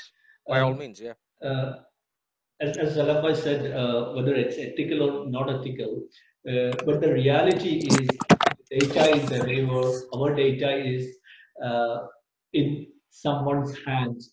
In a few few years' time, uh, Facebook is going to tell you what is new in, in, in, the, in the world, and Google Map will uh, uh, tell you uh, how to go and where to go and just eat maybe uh, telling you what to eat and maybe amazon will be telling you what to buy and netflix will be telling you what to watch and in, in, if you are interested in movies. Why? Because they know better than what you know about yourself. Uh, there is a term called uh, human hacking in very uh, it's it's uh, uh, started slowly uh, even now in few years time. A computer know better than you know about you. So whatever it is ethical or not ethical it is going to be i agree with uh, salamka it is not ethical but that is the world going to be unfortunately sorry take, uh, giving you back Yeah. Th- th- thank you for that interesting insight. Um, uh, Salam Bhai, one more question for you. Um, from today's uh, topic of discussion uh, and the context, uh, where do you think we can get some big data set to to play around with? Ideally, uh, free of charge, that is. Oh yeah, uh, again, uh, very good question. I think somebody already touched on it. Um, if you, um, you know, the, the good ways to learn in myself, and I am not a person who can listen for, you know, more than 10 minutes. I think most of the people here knows about that. And uh, I, I'm, you will learn more about when you actually do it. So I would definitely recommend if you are interested in get an account in uh, gcp.google.com. So that is Google Cloud Platform. And the moment if you have a, a you know, uh, you need to have a Gmail account. I think uh, so. If you get in that, they will give you three hundred dollars free of uh, free credit, and you can do whatever you want within a year. So we, uh, so whichever is earlier. So either you can you know make use of that three hundred dollars in a, in a year, or uh, sorry in, in three months if you are doing a lot, or if you are using it you know slowly, you can uh, you know, extend it up to a year. And you can even, you know, um, host a website in there. And we have done quite a few. I mean, if you look at the gap, you know, even Excel.org now, they are all free of charge, hundred percent free. I can, you know, take a, a, a class on it if you're really interested uh, how to do that. And uh, there is in, especially in uh, Google, there is something called BigQuery. Uh, that is, you know, one of the tools you know, these guys might be using. BigQuery is, it's one, you know, is an emerging tool.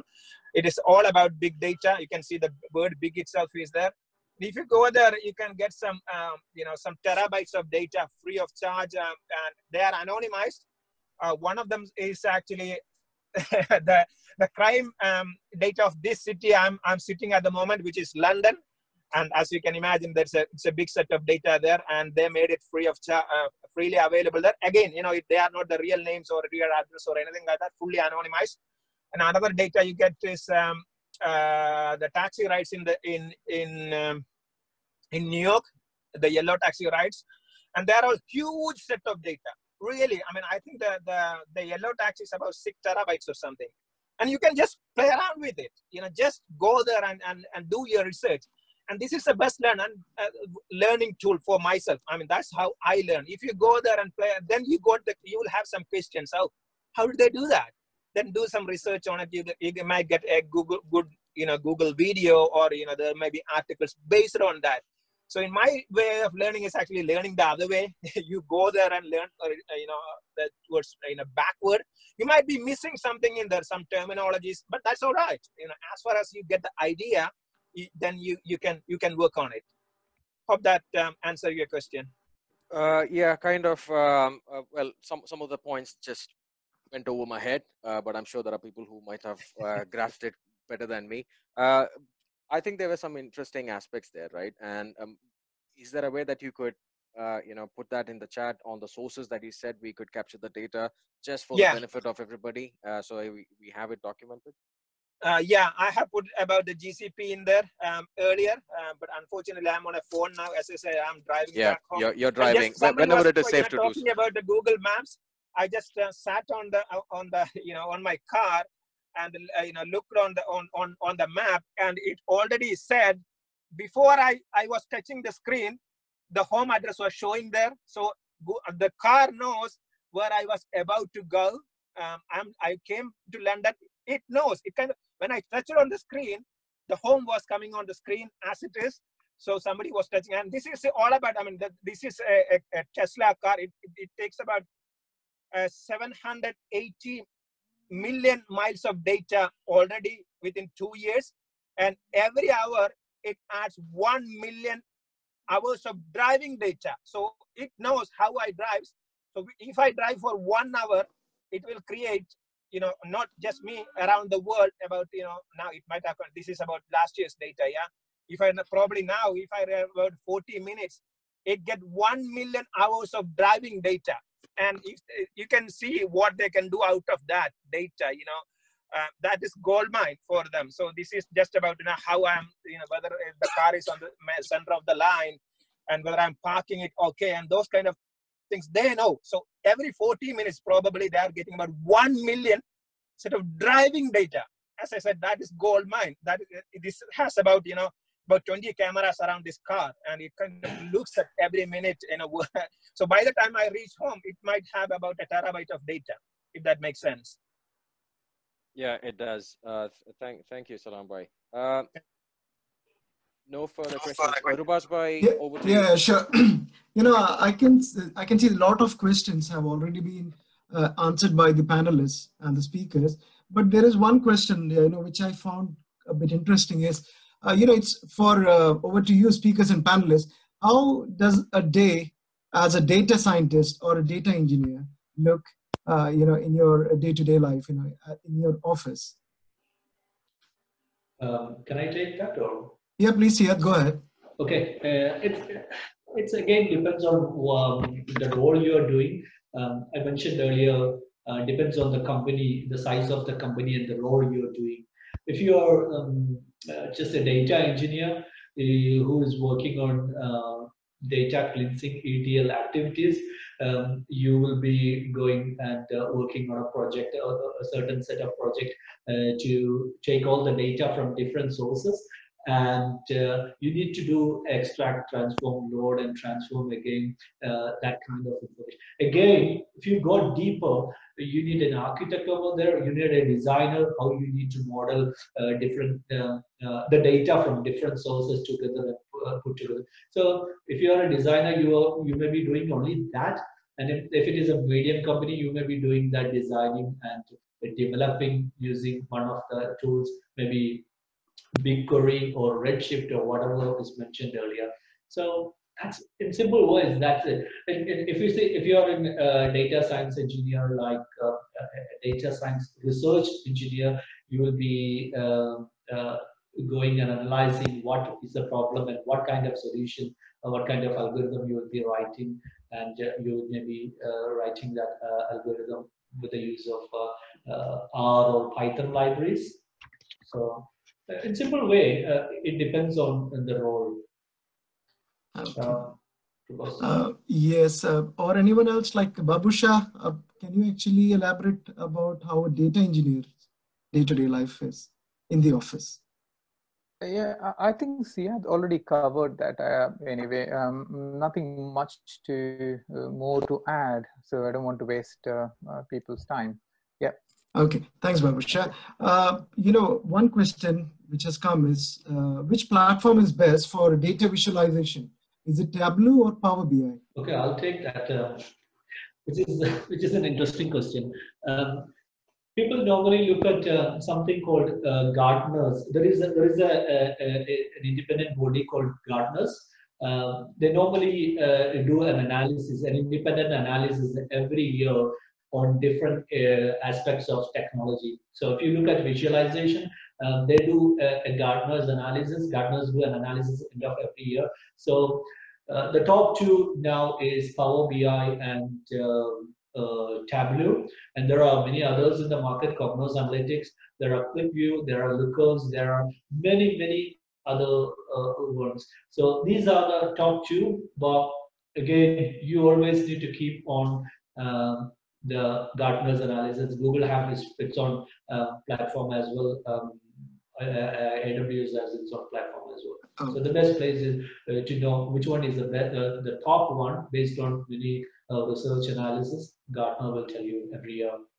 Okay, let me go to a live question. I can see Mr. Arif has been raising hand for the past hour. Okay. So let me ask him to unmute his, um, you know, I've asked him to start his video and unmute. Mr. Arif, can you hear us?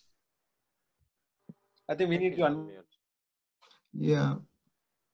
Yeah, can you hear me now? Yeah, yeah, yeah. Yeah. Thanks, thanks for the talk. I know Siyad is laughing because I told him what I was going to ask him. But I think it's it's a question for all the panelists. So uh, I'm sure most of you know that uh, the virtual healthcare market is expanding big time, and Corona has basically changed the goalposts very quickly in a very short period of time. For those who are running their own SMEs or have developed technology that they want to use for patient care, what we're finding is that compliance with data control and data processing is becoming quite a challenge, and there doesn't seem to be any kind of clear guidance available. There are a lot of toolkits available. I'm sure you all know about the GDPR toolkit and the uh, the uh, data security and protection toolkit. My question is, a lot of the data is now not being stored on hard, you know, disks and things like that, and a lot of the data storage is going towards cloud service where do we stand as SMEs or as companies in terms of liability or uh, following security standards for data that is stored in cloud service? Now I understand why you're laughing, Arif. Bhai. Okay. You've just um, put all the panelists into spotlight. yeah. So can I take? Uh, can I answer a bit of that? Yeah, yeah, go on, Siyad, go on. Siyad. Okay, uh, thank you. Uh, Arif. Bye. so the simple uh, answer is um, people have uh, uh, a thought that the cloud is not safe earlier, but is, is your mobile is actually safe? Is your computer at home is actually safe? Is your laptop is actually safe? Because it is connected to the wide world. Anyone can hack you, your camera, your hard disk, uh, and, and, and get into that. What kind of security you put together for your uh, laptop or your system, which will be much less compared to uh, what the cloud uh, providers have put together. For example, Google, Amazon, IBM, or Microsoft, they have got the best heads on the uh, virus, uh, sorry, security field in the world. So they can create much better uh, barrier, much better security than what I can do or what you can do for your hard, hard disk in your computer or Sure. my computer, my laptop in my home. That's a simple answer. Well, it, I, I, I, I remember listening to one of the talk uh, and somebody was saying, which is the safest the data in the world? There is no safe data in the world. But only thing you can protect as much as you can, which the cloud companies can do much better. The data governance is uh, is a maturing area because the uh, exponential growth of data is so fast. Yeah, Yeah. and I think Yeah, the other issue obviously is that uh, the the fines that the ICO issue for data breach is almost it can go up to 20 million euros or four percent of the annual turnover, whichever is higher. So there is a lot at stake for companies who hold data or you know control data or process data. So uh, the other the other issue I- guess I guess is about ISO 27001 and that kind of certification. Very very costly exercise for SMEs to follow. So my, my query is if the cloud servers have got the ISO 27001, can we use their ISO 27001 certification as vicarious protection for our data that we're using for our company or our apps? So, Um, uh, Arif, I think I can probably take that question. Yep. Uh, um, it depends upon what service you are using um, with from the cloud. Yeah, there is something called managed services and unmanaged service. Yeah. So I don't know. Uh, it would have been better if I can show. This. So basically, you know, if you in- in the in the, in the beginning, uh, you know, you, if you are just using uh, just you know hosting your website there with, a something called EC2 server, like you know, there you are just hosting a server. The liability is hundred percent on you. Yeah Okay. slowly goes into managed services like you know google or you know the, the cloud provider manages it for you you just use your service and there are you know there are some in some ways you know it's shared in some of the aspect and if it go deeper and deeper there are 100 percentage man, managed by them. Uh, and that would be something like uh, you know uh, for example uh, google docs. Yeah. You just use it. In that one actually you don't have much of a you know um, you know liability on it because as a service they give you and you just use it. So depending upon where you stay on that scale uh, you know then only we can answer that where it the responsibility lies i don't think you can use their certification because um, you know if you look at the, the the small print you will always see ultimately everything is your responsibility yeah Okay. they are Yep. just making it easy for you mm, by you know, by providing a service but if you look at the there are you know if you look at the service the more deeper you go the lesser responsibility you have but Okay. in most of the cases there's the you know if you want you know full control of the system you don't use tend to use their fully managed system. For hmm. example there is something called a you know a serverless technology. In that one is actually a lot of about 80% of the responsibility is with the cloud provider. Because you know the everything you are using pretty much everything of you, theirs. You, are, you don't have much. So it really depends upon which service you are using. It's quite Okay. it's difficult to answer you know answer give you Okay. a, a, Yeah, a, a fine. answer for that there, there, I presume there'd be a subscription service for a uh, the the cost would be different for a fully managed system compared to a partially managed system. Yeah. Abs- Okay. absolutely Okay. Yeah. Th- Okay. Thank, thank you, thank you, Salam. Thank you Thank you, thank you, Thank Mr. you very much. Yeah, I would actually, I can see few of the queries are also, you know, whether these presentations will be mm-hmm. available. I would just quickly share my screen to kind of introduce our website. It's exluk.org, and here you can find any upcoming or any past events along with their YouTube or you know further details.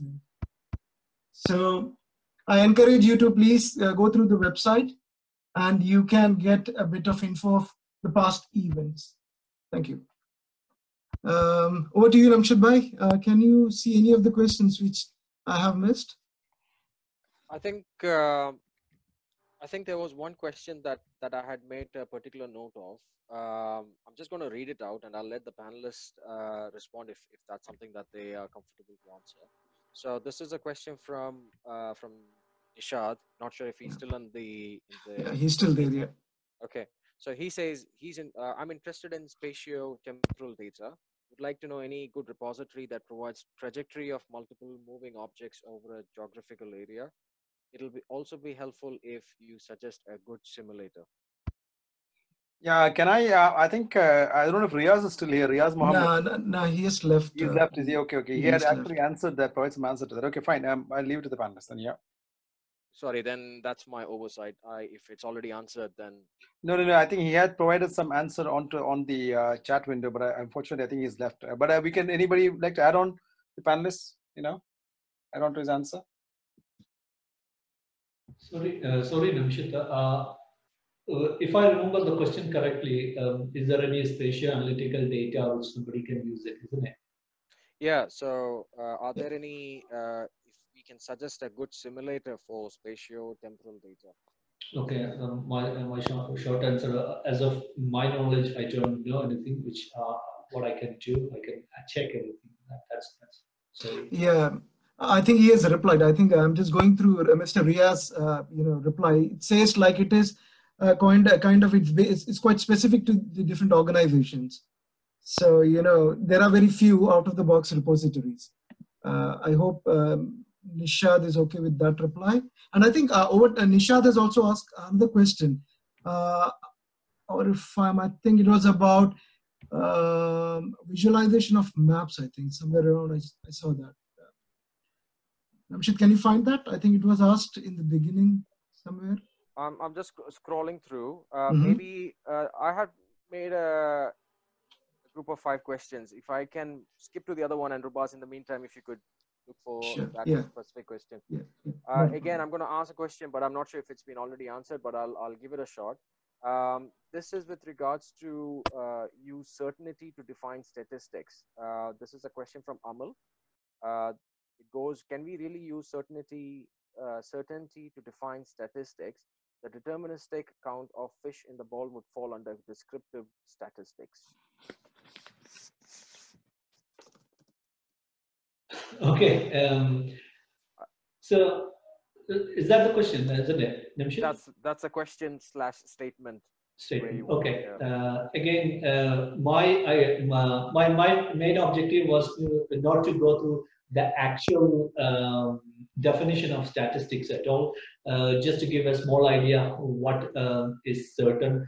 Uh, because uh, we uh, when we say about data analytics, which is all about the data in the past and the present, what is certain there. When it comes to uh, data science, where we use statistics, is mostly uh, uh, for your predictive models, which is uh, to predict um, the finance or anything else. So it's just I use it as just an analogy, just to make it um, the presentation useful. Um, if you go deeper, I agree some of those things. Yes, um, uh, there are you, you need to look at different aspects on uh, statistical side. Yeah. Okay, thank you. Um, maybe I'll I'll ask one more question if time permits. Priyaska, how are we with time? Uh, we are okay. I think we need to wind up now, but I think uh, I, I can see a few career-related questions on here. Um, but I just quickly ah, so that you know people I think want to one is the one I, I think I'm sure I'll come back to you, but just let uh, if you want to go to this one is uh, Siyad and uh, Mohammed. When we are switching our career to data science, which domain we have to select? What is the criteria to select a domain? now I don't know what is switching from, so that's a question. Okay, so Siyad, do you want me to take that one? Yeah, that's fine. So, Uh, the, the, uh, somebody I, asked the, uh, Siyad, I think Mohammed is taking that one. Go on. sorry, Mohammed? Yeah, yeah, yeah. Go okay, on, so, so for the domain wise, I would recommend uh, domain is not important. Like I think possibly your concept, if you're moving to data science, your concept is very, very important. Domain can be anything. Like if you take my example, like I was working for the game analytics, then I moved to the telecom, again I went to the IoT. So domain can be anything. As long as your concepts are good, your algorithm is right, you can move to the any domain. This is what I would say in short. Um, Thanks. so, uh, thanks. Mohammed. Can I just add one more uh, on Yeah, yeah, that? go on. Uh, in, in one way, uh, Mohammed is right because if you're um, want to have a very technical career, you remember the three circles, the mathematics and uh, technical. So if you are only on technical, you want to have the career based on that, which is fine. But if you are on a domain, if you are on a, a healthcare domain or if you are on a financial domain, if you are uh, your your expertise is credit risk analysis in, in financial industry. And uh, you if you add um, the one of the visualization tool and if you know uh, a bit of r and python that will actually help you to get uh, to progress you as a, a credit risk analyst in the field. So anything any if you have any domain knowledge and if you club with uh, that with uh, a bit of data science technical side or programming side that will make you a specialized expert and analyst in that field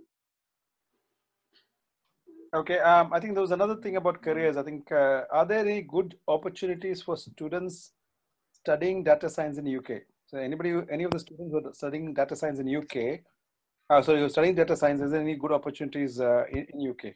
Uh, Okay. partly covered that, but I think any of you can take it. Yeah. Yeah, s- sorry, uh, just uh, touch that again because I I mentioned earlier.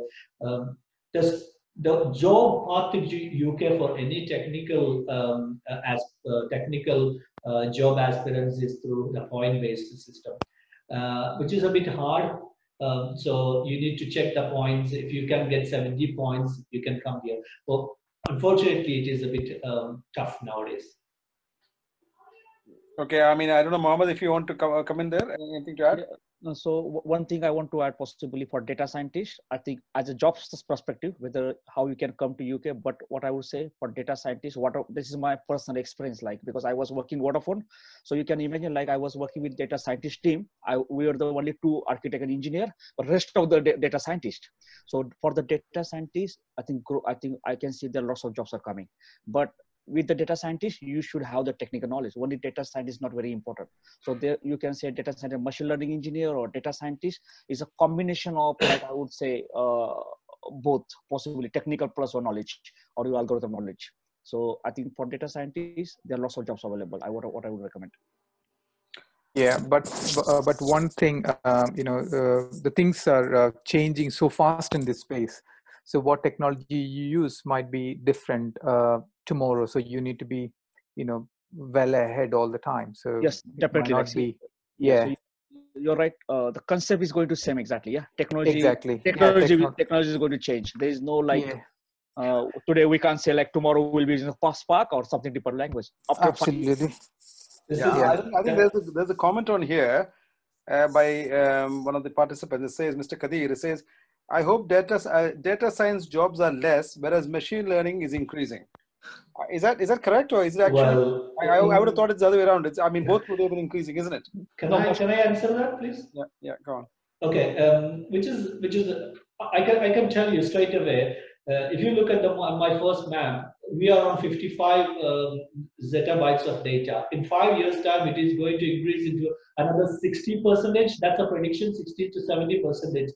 So definitely the data side jobs will be here, but we don't know what form it will be. Uh, mostly, uh, it uh, how, how quickly it will change into a new one. So I was listening to one of the talk by Yuval Harari. He is a, a famous historian and predictor in this world. He's a researcher in this field. What he is saying is the changes will be fast. There will be data-related jobs again, and what form, what name it will be called, we don't know. But there will be data-related jobs, and again, if you're a, a graduate or postgraduate, one of the things is saying uh, there will be changes coming fast and thick. And as a human being, as a Homo sapien, you need to be uh, adaptable to change more and more frequently in the coming future. So uh, it's a, it's a, a bit uh, wider answer. So I don't I think it will uh, give a bit more insight into that. Riyaska? Yeah, um, and there's one more again uh, related to the job. The, what are the, what are employers now? Uh, Siyad, you're a prospective employer. What are you looking in a graduate data scientist? That's a good question. Uh, it's you're looking uh, for a lot of things, but you know what he meant is, what are you looking for in a graduate data scientist? What is the oomph thing that you want from him? You know, we're going to employ him. Uh, you know, This is uh, that's a very good question. Um, again, I, I touched a few of these things earlier because uh, the most important, as a graduate, uh, getting into uh, a career is, is the first hurdle. Uh, where the competition is so much uh, in, in the in the in the new world, and people can access a lot of information, learn too many things. So the first thing I always say, if you are a graduate, show that you are uh, uh, sorry, uh, Siyad is graduate data scientist. Okay. oh sorry graduate data scientist Yeah, yeah, so, yeah. Okay um, what what employer is looking as a graduate uh, data scientist so so the first thing is you you you already have a, a good qualification or a degree uh, in your pocket. So next thing is uh, go to uh, Google or any of these uh, Google, IBM or any of these and get certified and get uh, show that you have more technology on your pocket, you more understanding on the pocket. And the uh, other thing that also they mentioned in between, if you can write some article, uh, be in LinkedIn, um, show that uh, you can uh, present a lot of uh, present your skills in a good way and hackathons, etc. Just show up. There are a, good, a lot of platforms everywhere. Um, in, in you have uh, different platforms in uh, Google, Azure, and etc. You can uh, answer some of the questions and you can compete with others. That's the way you can get into it. Okay. I think Python, uh, learning Python, SQL, R is a must. I think for data science. Yeah, So Python is need to Python is very important. Yeah, Python is very very yeah and uh, as a fresher i would uh, look for uh, kind of internships basically if you fi- uh, hard to find a uh, entry job then keep on looking for internships um, that that will help you once you get into the company then it's easy to go permanent and find uh, you know to move to another career Yeah, I mean, Yeah, there is, uh, there is one question from. Uh, sorry, I think it was anybody wanted to come in. Yeah, yeah. The, the thing is, I just got, uh, you know, thanks to Nishad, he has reposted his question. And the question was how to visualize map data. Yeah, yeah. I was just going to say that. Yeah. Okay, I think um, I can take that. Uh, how to visualize map data? It's um, it's a it's a very a, a bit technical question. What I can tell you is uh, the map data we normally visualize based on two different aspects because you need to have the data on your side for your um, whatever the domain is. So you need to show that uh, the number of COVID patients in different uh, districts. So all the um, uh, points, uh, all the areas in the world is um, being identified by two uh, different parameters. One is longitude and latitude. So, so you relate those city data to uh, your actual data. For example, you have a city data for Calicut, you have a lati- latitude and longitude point, and then at the other end, for you have the number of COVID patients. So you can relate them on the map and you can show them. There are the tools uh, may, may work differently, but that's the in simple way. That's the way it works.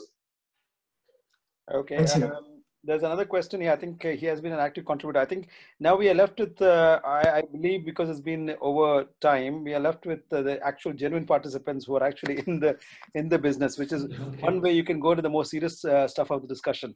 So uh, there's one. I think Hafjash Usman. I mean, he's been very very active and uh, he's been contributing. He's asked a question. Can can we explore Kag- Kaggle product, projects? K A G G L E. I, I don't have a clue what that is, but I'm just uh, answering the question. Uh, K A G G L E. I don't know if anybody knows that. Can can explore Kaggle projects. I think Hafjash maybe still in the um, in the audience. I think we can ask him himself if he's there. Um, I don't know.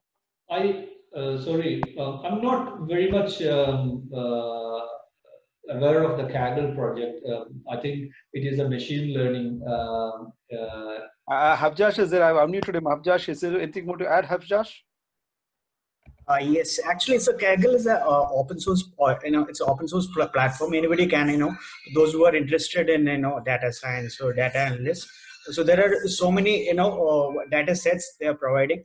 So there are co- so many competitions also happening here, happening there. So people who are interested and, you know, uh, so mostly this, what is happening is, I mean, you know, those who those who wanted to, you know, uh, enter into this data science or data analyst area. So how can they, you know, explore that opportunity?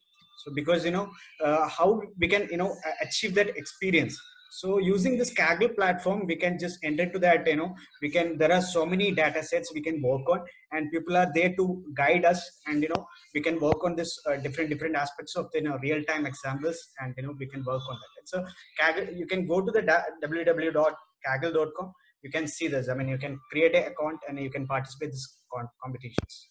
Uh, there are so many things are there Okay. so machine learning, data science, data analyst, so many things are there. uh, uh, the, the, the, good to good to know that uh, Hafjash, um, Hafjash, isn't it? Yeah. Sorry. Yeah, yeah.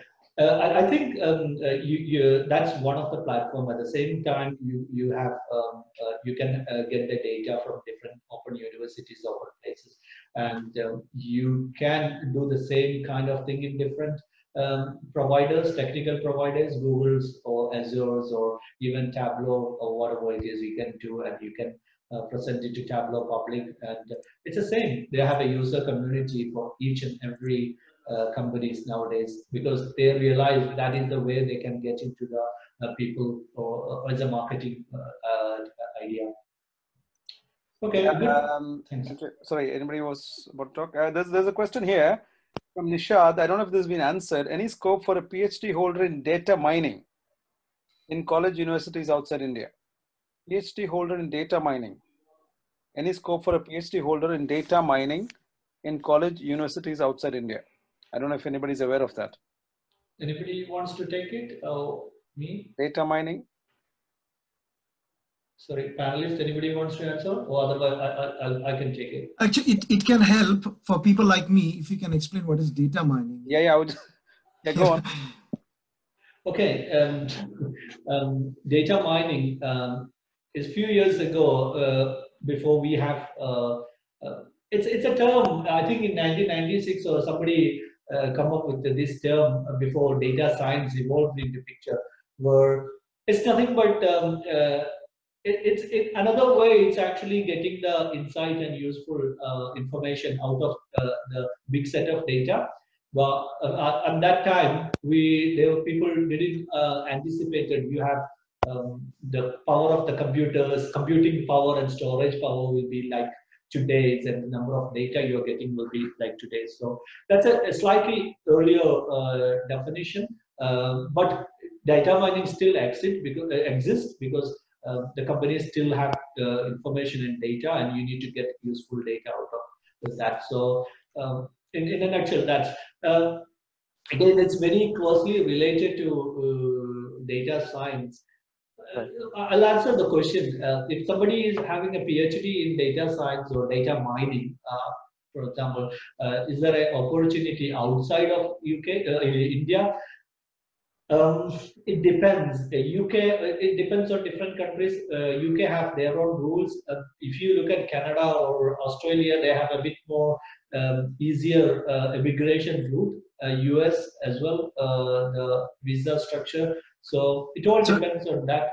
So it is it, it, so it is more with the it's less with the scope, but it is more with the immigration policies of each country, Yeah, uh, scope is always there. Uh, yeah. if, if, you look at uh, UK, UK is a financial hub of the world. 70, I think 76 percentage of our revenue is coming financial services. So yeah. data is always there. There's a good scope in there, but it's more than that. How you can get into it because companies won't offer you a visa straight away until unless it is. Um, that position or that role is not available here. Okay, uh, Siyad, I mean, I'll take just one more question and I'll hand over to Amshit. Uh, sure. Uh, sorry, Amshit, uh, before we can uh, start uh, winding off officially. So there is a, again, I think it's uh, Hafjash who's asked this question. People who have eight plus years of experience and who want they switch to want to switch their career from different technology to data science area, what is the recommended way? So basically somebody with eight years of experience in a different technology area, they want to switch to data science. What is the recommended way? Because most employers will look for prior experience as hiring criteria. Is there any way of overcoming that? I think you kind of touched upon. Uh, yes, uh, Riyaska, sorry to sorry to interrupt. I think yeah. Mubarak has also posted something very similar to that. Yeah. Uh, you can see that it in the latest yeah, yeah, chat. Yeah, I can see that. Yeah, it says. Yeah, go on, go on, uh.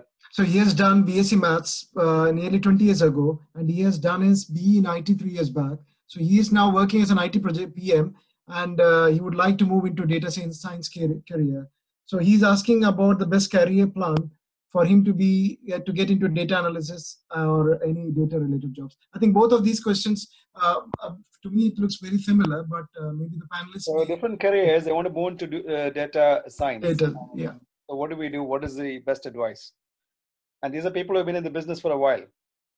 Eight can years, I, years. Can I throw my two pennies worth of? Yeah, is that is that Namshid? Yeah, go on, Namshid. Yeah, go on. Namshid. Yeah, yeah, and I'll try to speak. Yeah, I think you're, you're loud, louder. You're, yeah. yeah, go on. Yeah, that's better. Yeah, so so I, my advice is um, somebody with these many years of experience, especially as an IT project manager, and to to throw that all away and jump into a new career path. For me, it doesn't sound. I mean, if I were in this position, I would think a hundred times before I did that because I have made myself. Uh, I mean, all those years as IT project manager, I should now be aiming higher and shifting track at this stage. And in actually now at a beginner level, I, I don't think that's a, a wise career move.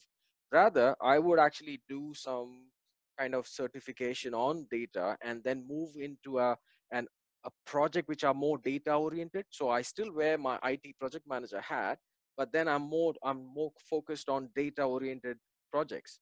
Then you get the best of both worlds but to give give it all away throw it all the project management experience which is very crucial in this country and many other countries as well for me uh, I, I would i would find it very strange somebody would want to throw it all away and shift uh, completely shift to a completely new career path. And uh, does that answers the question for uh, Avjash also? Yeah, and, and because anybody else has got any comments on the on the panel um, on that? I can uh, add my two cents on that maybe.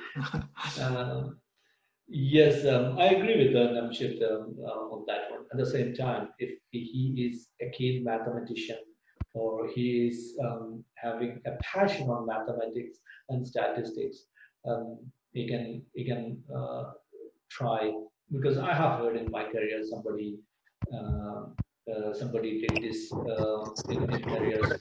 Uh, the best way is always uh, as we hello. Sorry, can is that?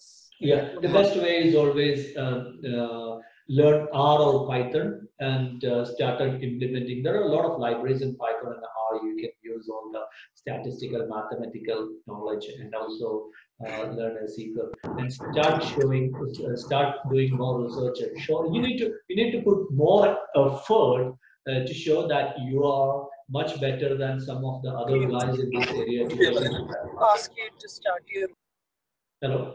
Sorry, Avjash. No, Uh, not one. I think it's Salam. I think I just muted him. Yeah, go on. Okay, so uh, the, the way is learn uh, these areas because uh, uh, Python and uh, R is very close to, uh, oh, it's, it's uh, used for, it, th- th- those are the programming languages uh, today in today's world uh, used for statistical uh, modeling and uh, mathematical. If you have a mathematics degree, then learn, uh, do some certification. If you, have, uh, you can be one of these uh, technical giants and actively participate and actively show that you are good in that. So that's the way you can even get into it. It's it's a it's a big move, but if you are a keen mathematician, a statistician, statistician it is possible. Um, that's what my thought is. Yeah, I mean, I mean, as a as a person who generally advises for careers, you know, I, am not anyway no nobody to talk about IT careers, but I think the big question I would ask is why do you want to make that move? Is that a reason because your job is it uh, uh, is a problem, or is it a, a necessity that you need to make a move, or is that like Siyad said, you have a great passion, you always had a passion, and you want to come into it? If the passion is actually driving what you want to do, then I think that would be a may not be a bad idea to consider doing that. But if it's anything else, uh, you know, in terms of career prospects or whatever, I think that you may have to do your homework. I mean, that's my general idea about careers. In, in UK, if, if people think about coming to UK, I think people have said that in general, UK, the problem is there is a need. I think most areas, the need is there. The problem is a visa. Yeah. And it depends on how bad the company wants to have you. So you have to go for a rarer area than the government. The, most of the companies cannot uh, go through the loopholes of immigration laws, you know, because they're trying to cut down their problems. Like doctors, there's a lot of scope because they need a lot of doctors. So most of UK government policies is, is, is, is guided by the need that they have, supply and demand situation. When the demand is more, tend to make their lo- uh, laws a little bit more lax. So that's just for people. So you, it's a changing goalpost, the, the, the, the demand here. So they keep on looking at what's the data science, artificial engineering, machine learning may, may become a big thing for the next five to 10 years. So it'll, it'll be more in demand, then you, they might need more people uh, in that area. So that's something you got to mind. Um, Yeah, just to add um, add on to it. Hello, go- um, uh, can, can I come on that too? yeah, yeah, yeah, Salam, go on. um, if you are really passionate about it, I mean, some people are, you know, they might not be happy with what they are doing, and I would agree with, uh, you know, Namshid on that. But just to add, if you are really keen, uh, the, uh, you know, take this certification by Google. There is a, a Google data, uh, you know, um, there, there is completely a route in there, um, data scientist route. So take that certification parallel to what you're doing. So continue with your, um, uh, you know, uh, your uh, project management. Parallelly take that certification and see how it is. Sometimes it might not be as good as you think. So you know you might not like it. I don't know. So if you still think actually it is good and it's your career, uh, uh, you know uh, then take that certification uh, then slowly you know if you get a job move on to that. So i, I would um, you know uh, definitely agree with namshid on that. But as i said it really depends upon your passion. If you're really passionate just you know look for this certification. I put a link in the chat uh, some you know some time ago. So have a look in there. It has got uh, all the information about that data track from google. And that is very very valid. I mean when i, I recruited few, few people in that area and if they have that google certification in data science that is a good way to cra- you know get crash in you will be considered and from that it's an entirely you know up to your skills but you'll be definitely considered with that certification Okay. Thanks Uh. But having, but so uh, there's one more question, and then we'll move on to Rubas and Namshid to actually wind up the Q&A show. Yeah, Dr. Riaz, I'm just mindful of the time. We are, ne- Yeah, yeah, uh, yeah. we are nearly three hours onto the. Yeah, there's a say says I chose biomaths as an option. I don't know if this question has been answered. Biomaths as an option. Uh, is computer science necessary for a data analyst uh, job? I mean, there's probably somebody who's pretty young. So they chose biomaths. Their question is: Is computer science necessary for a data analyst? Whom the question is for? Anybody? I mean, anybody can Uh, take it. Uh, it's a, uh, it's in- Mohammed Amjad. I don't know if he's still here. Yeah.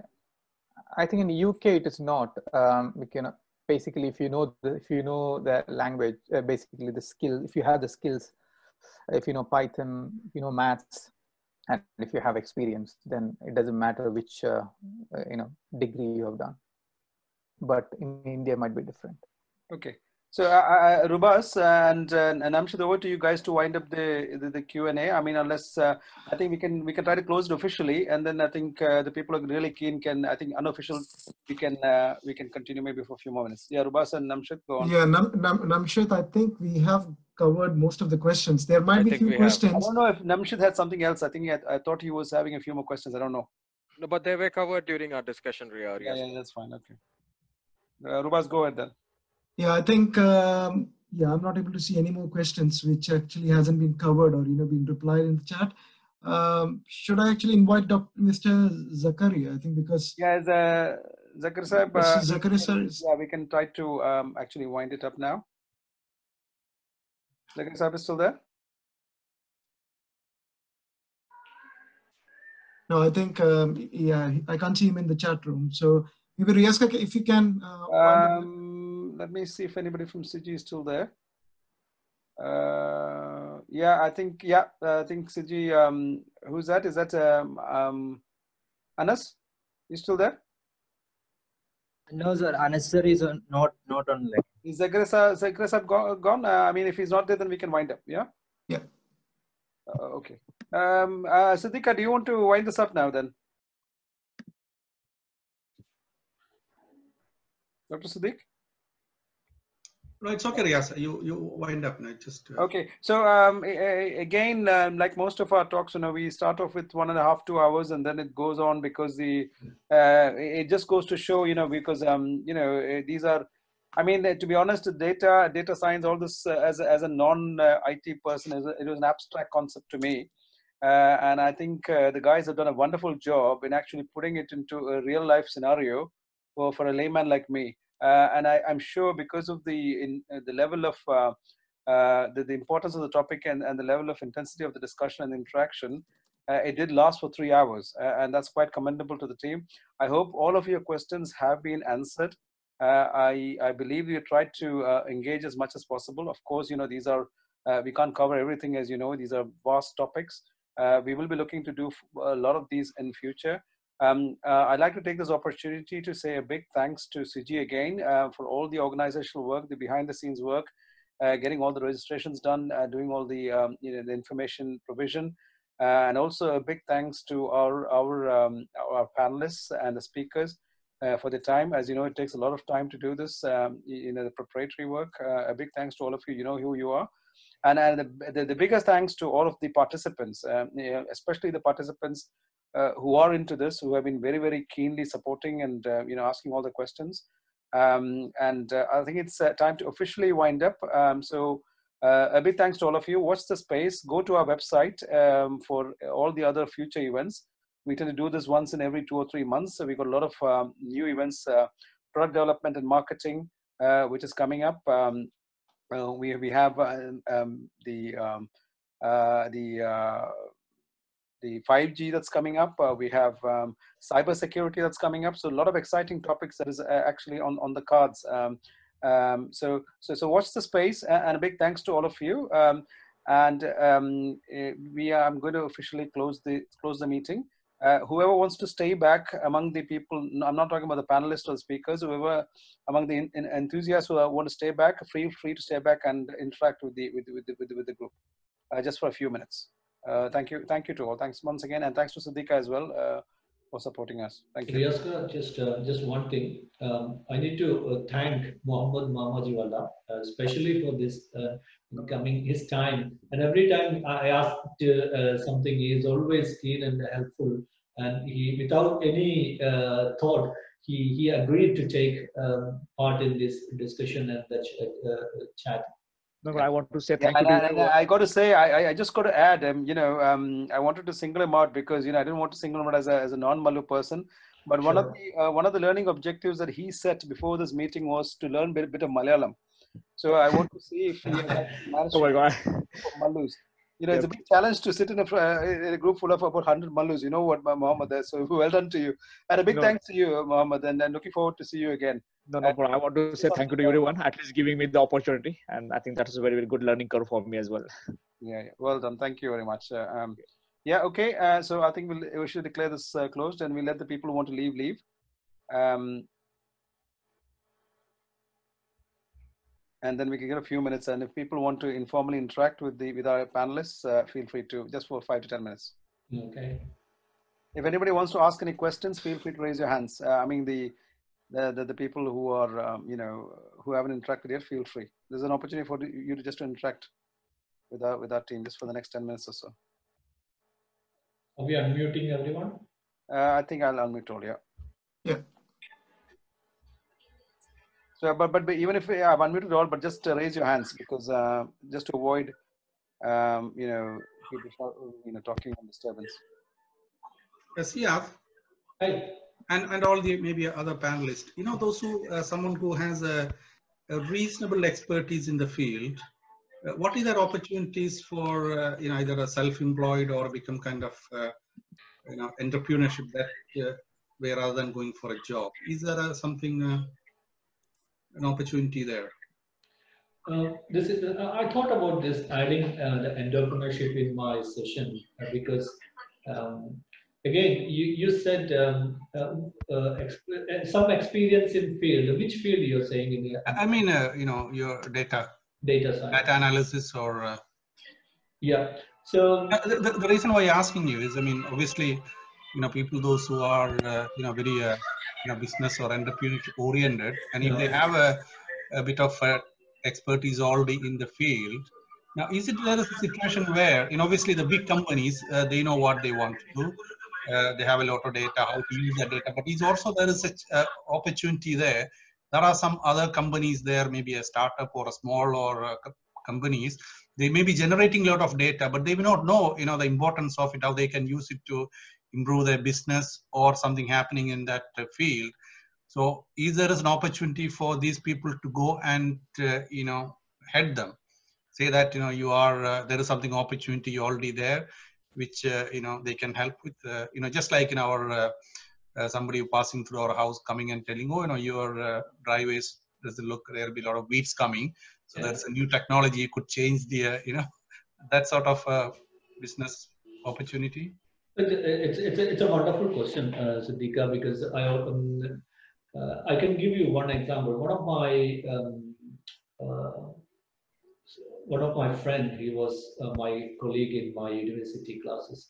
He he is an entrepreneur. He started a new company very recently, and uh, what he is doing is he is analyzing and creating some algorithms and machine learning algorithms uh, on some medical uh, areas. Um, not going in detail because I can't go for some reasons. Um, so my answer is yes. Always there is opportunities. Um, you you need to find a niche field uh, where you can help uh, the uh, industry using the data you can get it.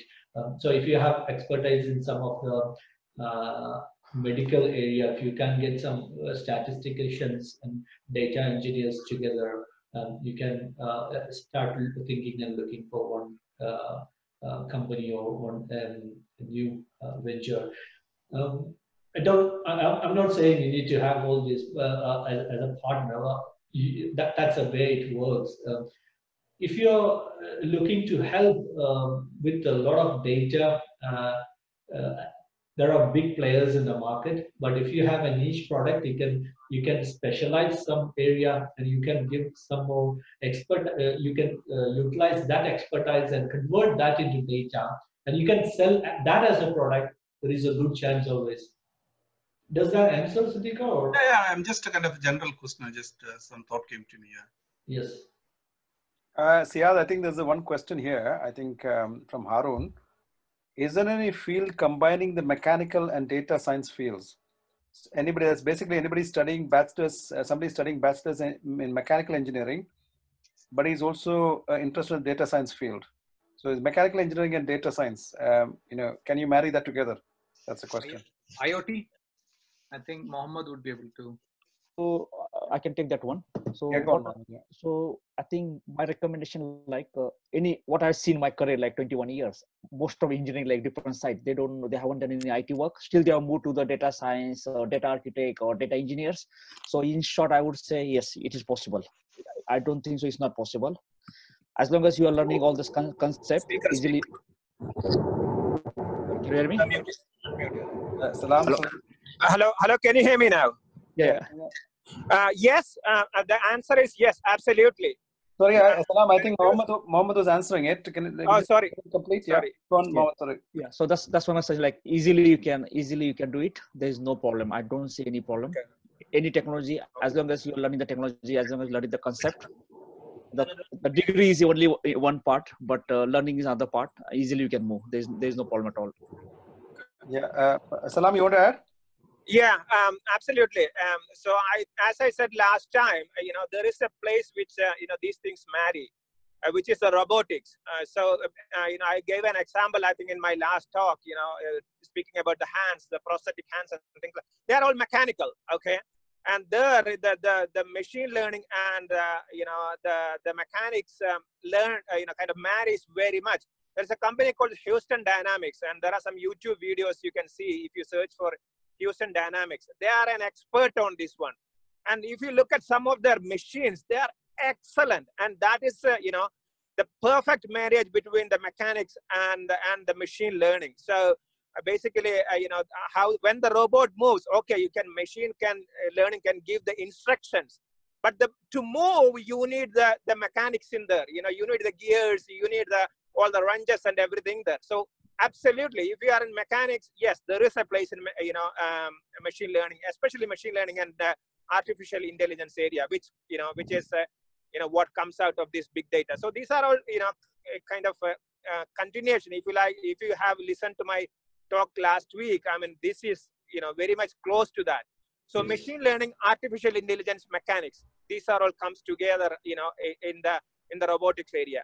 So you can definitely look into that area Okay, that's great. Uh, I think uh, I think Hafjar, I think you want to have Hafjash, you want to ask something? You wanted me to be unmuted. I've unmuted you. Uh, is there anything you want to say, Hafjash? Uh, no, actually, no. Uh, the earlier, actually, we had a discussion, right? I mean, the, those who have, yeah, those who had a experienced pupil. I mean, you know, those just wanted to switch their career to data science. You know, uh, it might be. I mean, it, it can be uh, with a passion, or maybe they just wanted to the booming technology. I mean, just wanted to learn, and you know, uh, because you know why people are deciding i know many people actually those who had you know support uh, you know it support or testing you know they just wanted to you know just get rid of the, that particular work and that routine work what they do and they just wanted to do and some something you know uh, interesting or you know uh, for those people i mean you know how how they can you know uh, you know come to this particular area that that, that was my actual question actually you know uh, as uh, Nems, uh, i think nem's point i mean you know what he was discussed i mean uh, you know those who has a you know project manager position uh, definitely i mean you know that is not a wise decision but you know those who have uh, you know 5 years or 8 years experience because they are just you know started their you know they are in kind of mid career right so you know definitely i think even i, I would suggest you know just you know just go and you know grab that uh, those opportunities because you know definitely i mean definitely you know uh, where these people are stacking is i mean you know they don't have a prior experience people definitely i mean people uh, all employers definitely they look for the prior experience. And then only they will get into that particular uh, you know area. So that's where they stuck. I mean most of the people uh, they stuck there actually. They don't have a prior experience. So how they can you know create experience so that's where you know uh, i came up i mean you know e- even i know i'm kind of uh, that person you know i started you know exploring this Kag- kaggle is the one of the platform you know we can you know learn you know data science or data analyst i mean you know there are plenty of projects you know real time projects where you can work on it and people are there to help you and guide you. So that you know these uh, ex- i mean these uh, projects you can you know put into your resume or cv and definitely i mean you know people will i, think employees will consider that. That is the i don't know uh, uh, because you know those people are uh, sitting here i think panelists i mean uh, is this uh, projects definitely i mean you know when they are hiring or you know in their uh, in their to project or you know these projects they'll consider or not i mean you know in in your experience that is what i, I just wanted to know Yeah, I, I, I want to add that uh, on that, uh, uh, you know, the question and the suggestion. Yeah, can I? Who's that? Sorry. Uh, Shabir. Yeah, yeah, yeah, sure, sure. You go. Yeah, sorry. Uh, yes, uh, you are right, uh, uh, Hafjash. Yeah, uh, you know, um, in my company, so what we usually uh, look uh, uh, for from the CV, you know, say just a, just an example, you know, on Salesforce. When you do the uh, Trailhead on on Salesforce, you will be getting the different badges. Yeah. Also, when you participate in hackathon or the one you mentioned, yeah, that's an open source uh, real time environment. Yeah. So we usually look um, what kind of project you did or yeah. Uh, what kind what kind of hackathon you participate? How many badges you have from uh, uh, from salesforce or from the google? Yeah. So we will consider all these aspects when you you know in case if you are changing from uh, testing or any other area to a data science or data analyst.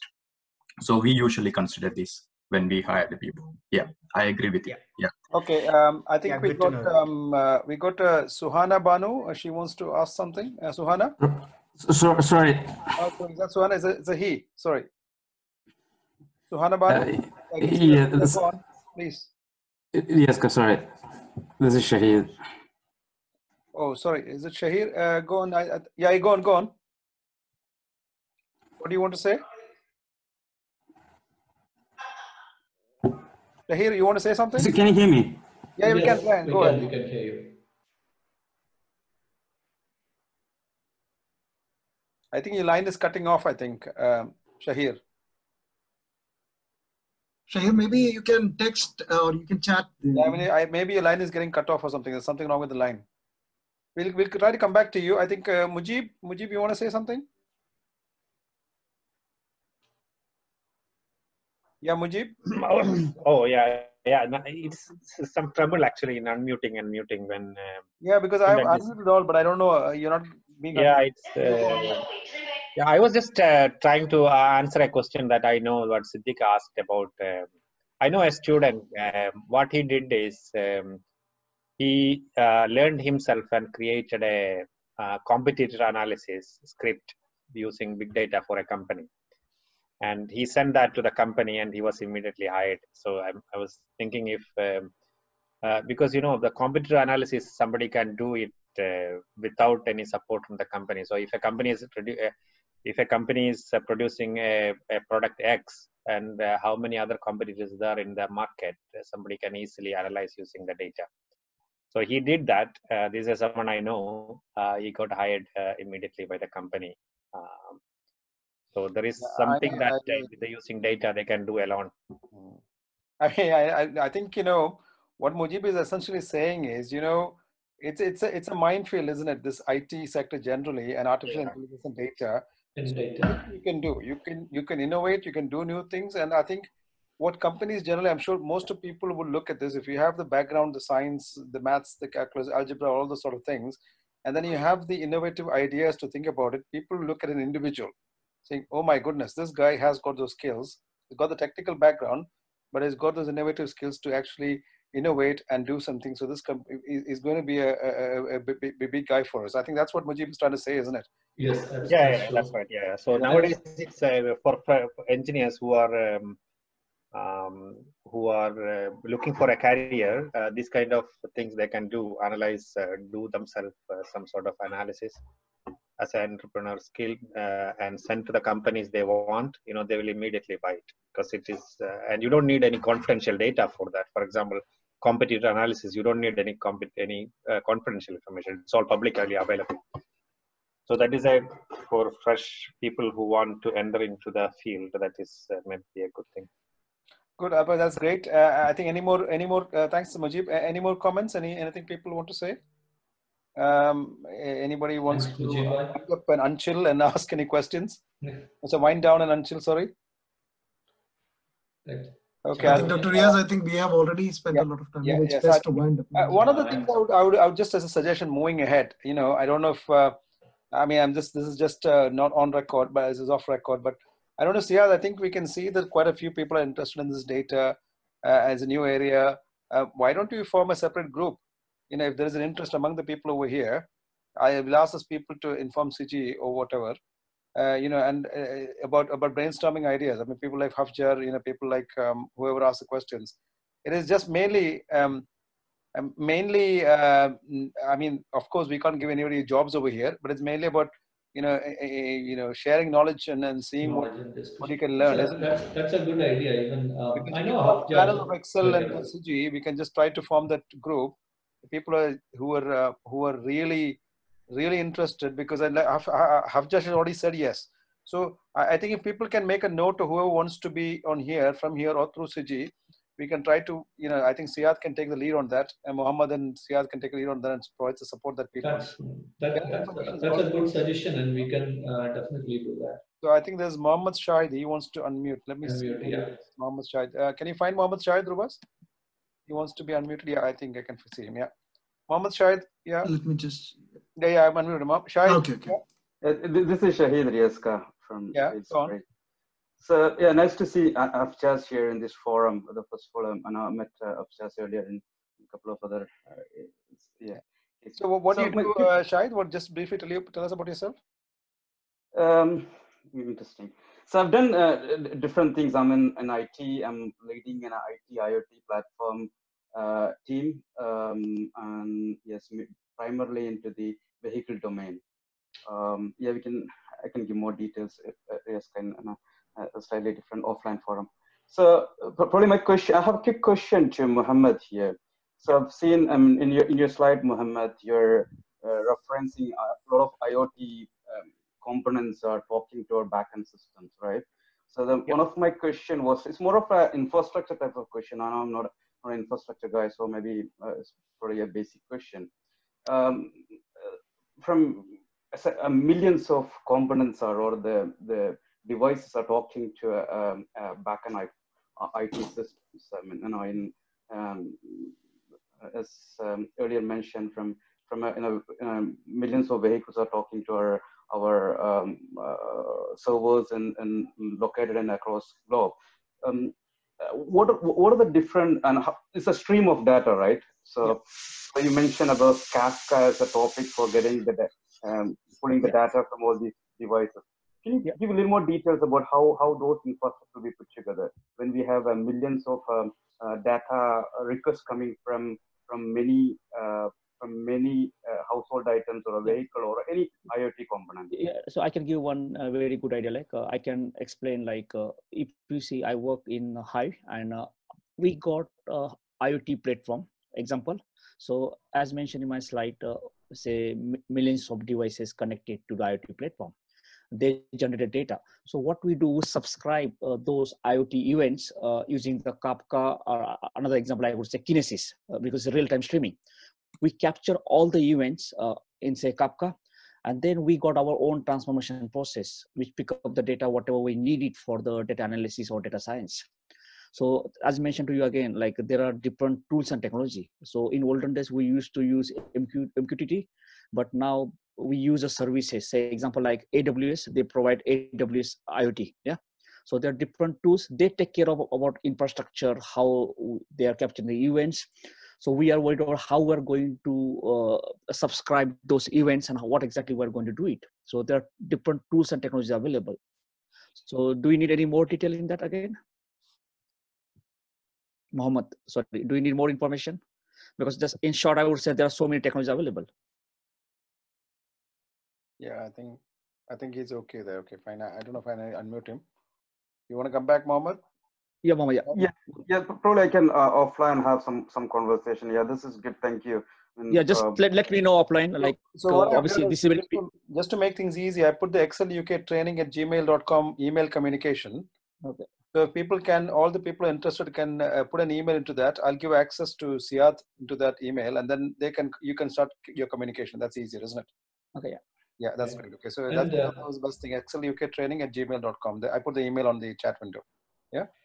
Um, anybody else um, want to come in? I think uh, before was it? Uh, uh, is it? I can see the name is Suhana. Is, is, is it gone? I'm sorry. Um, Shakir, I think Shakir. Shakir. Uh, I don't. I think they're gone. I think I can't see them anymore. Um, yeah, we can't see them anymore. Yeah. Okay. So um, anything else? A final uh, this thing, and we can just uh, wind up. Yeah. No, chai samay. Chai samay. I think. Yeah. So okay. I think that's it. Um, everybody. Um, big thanks to everybody again. So um, if feel free to leave now.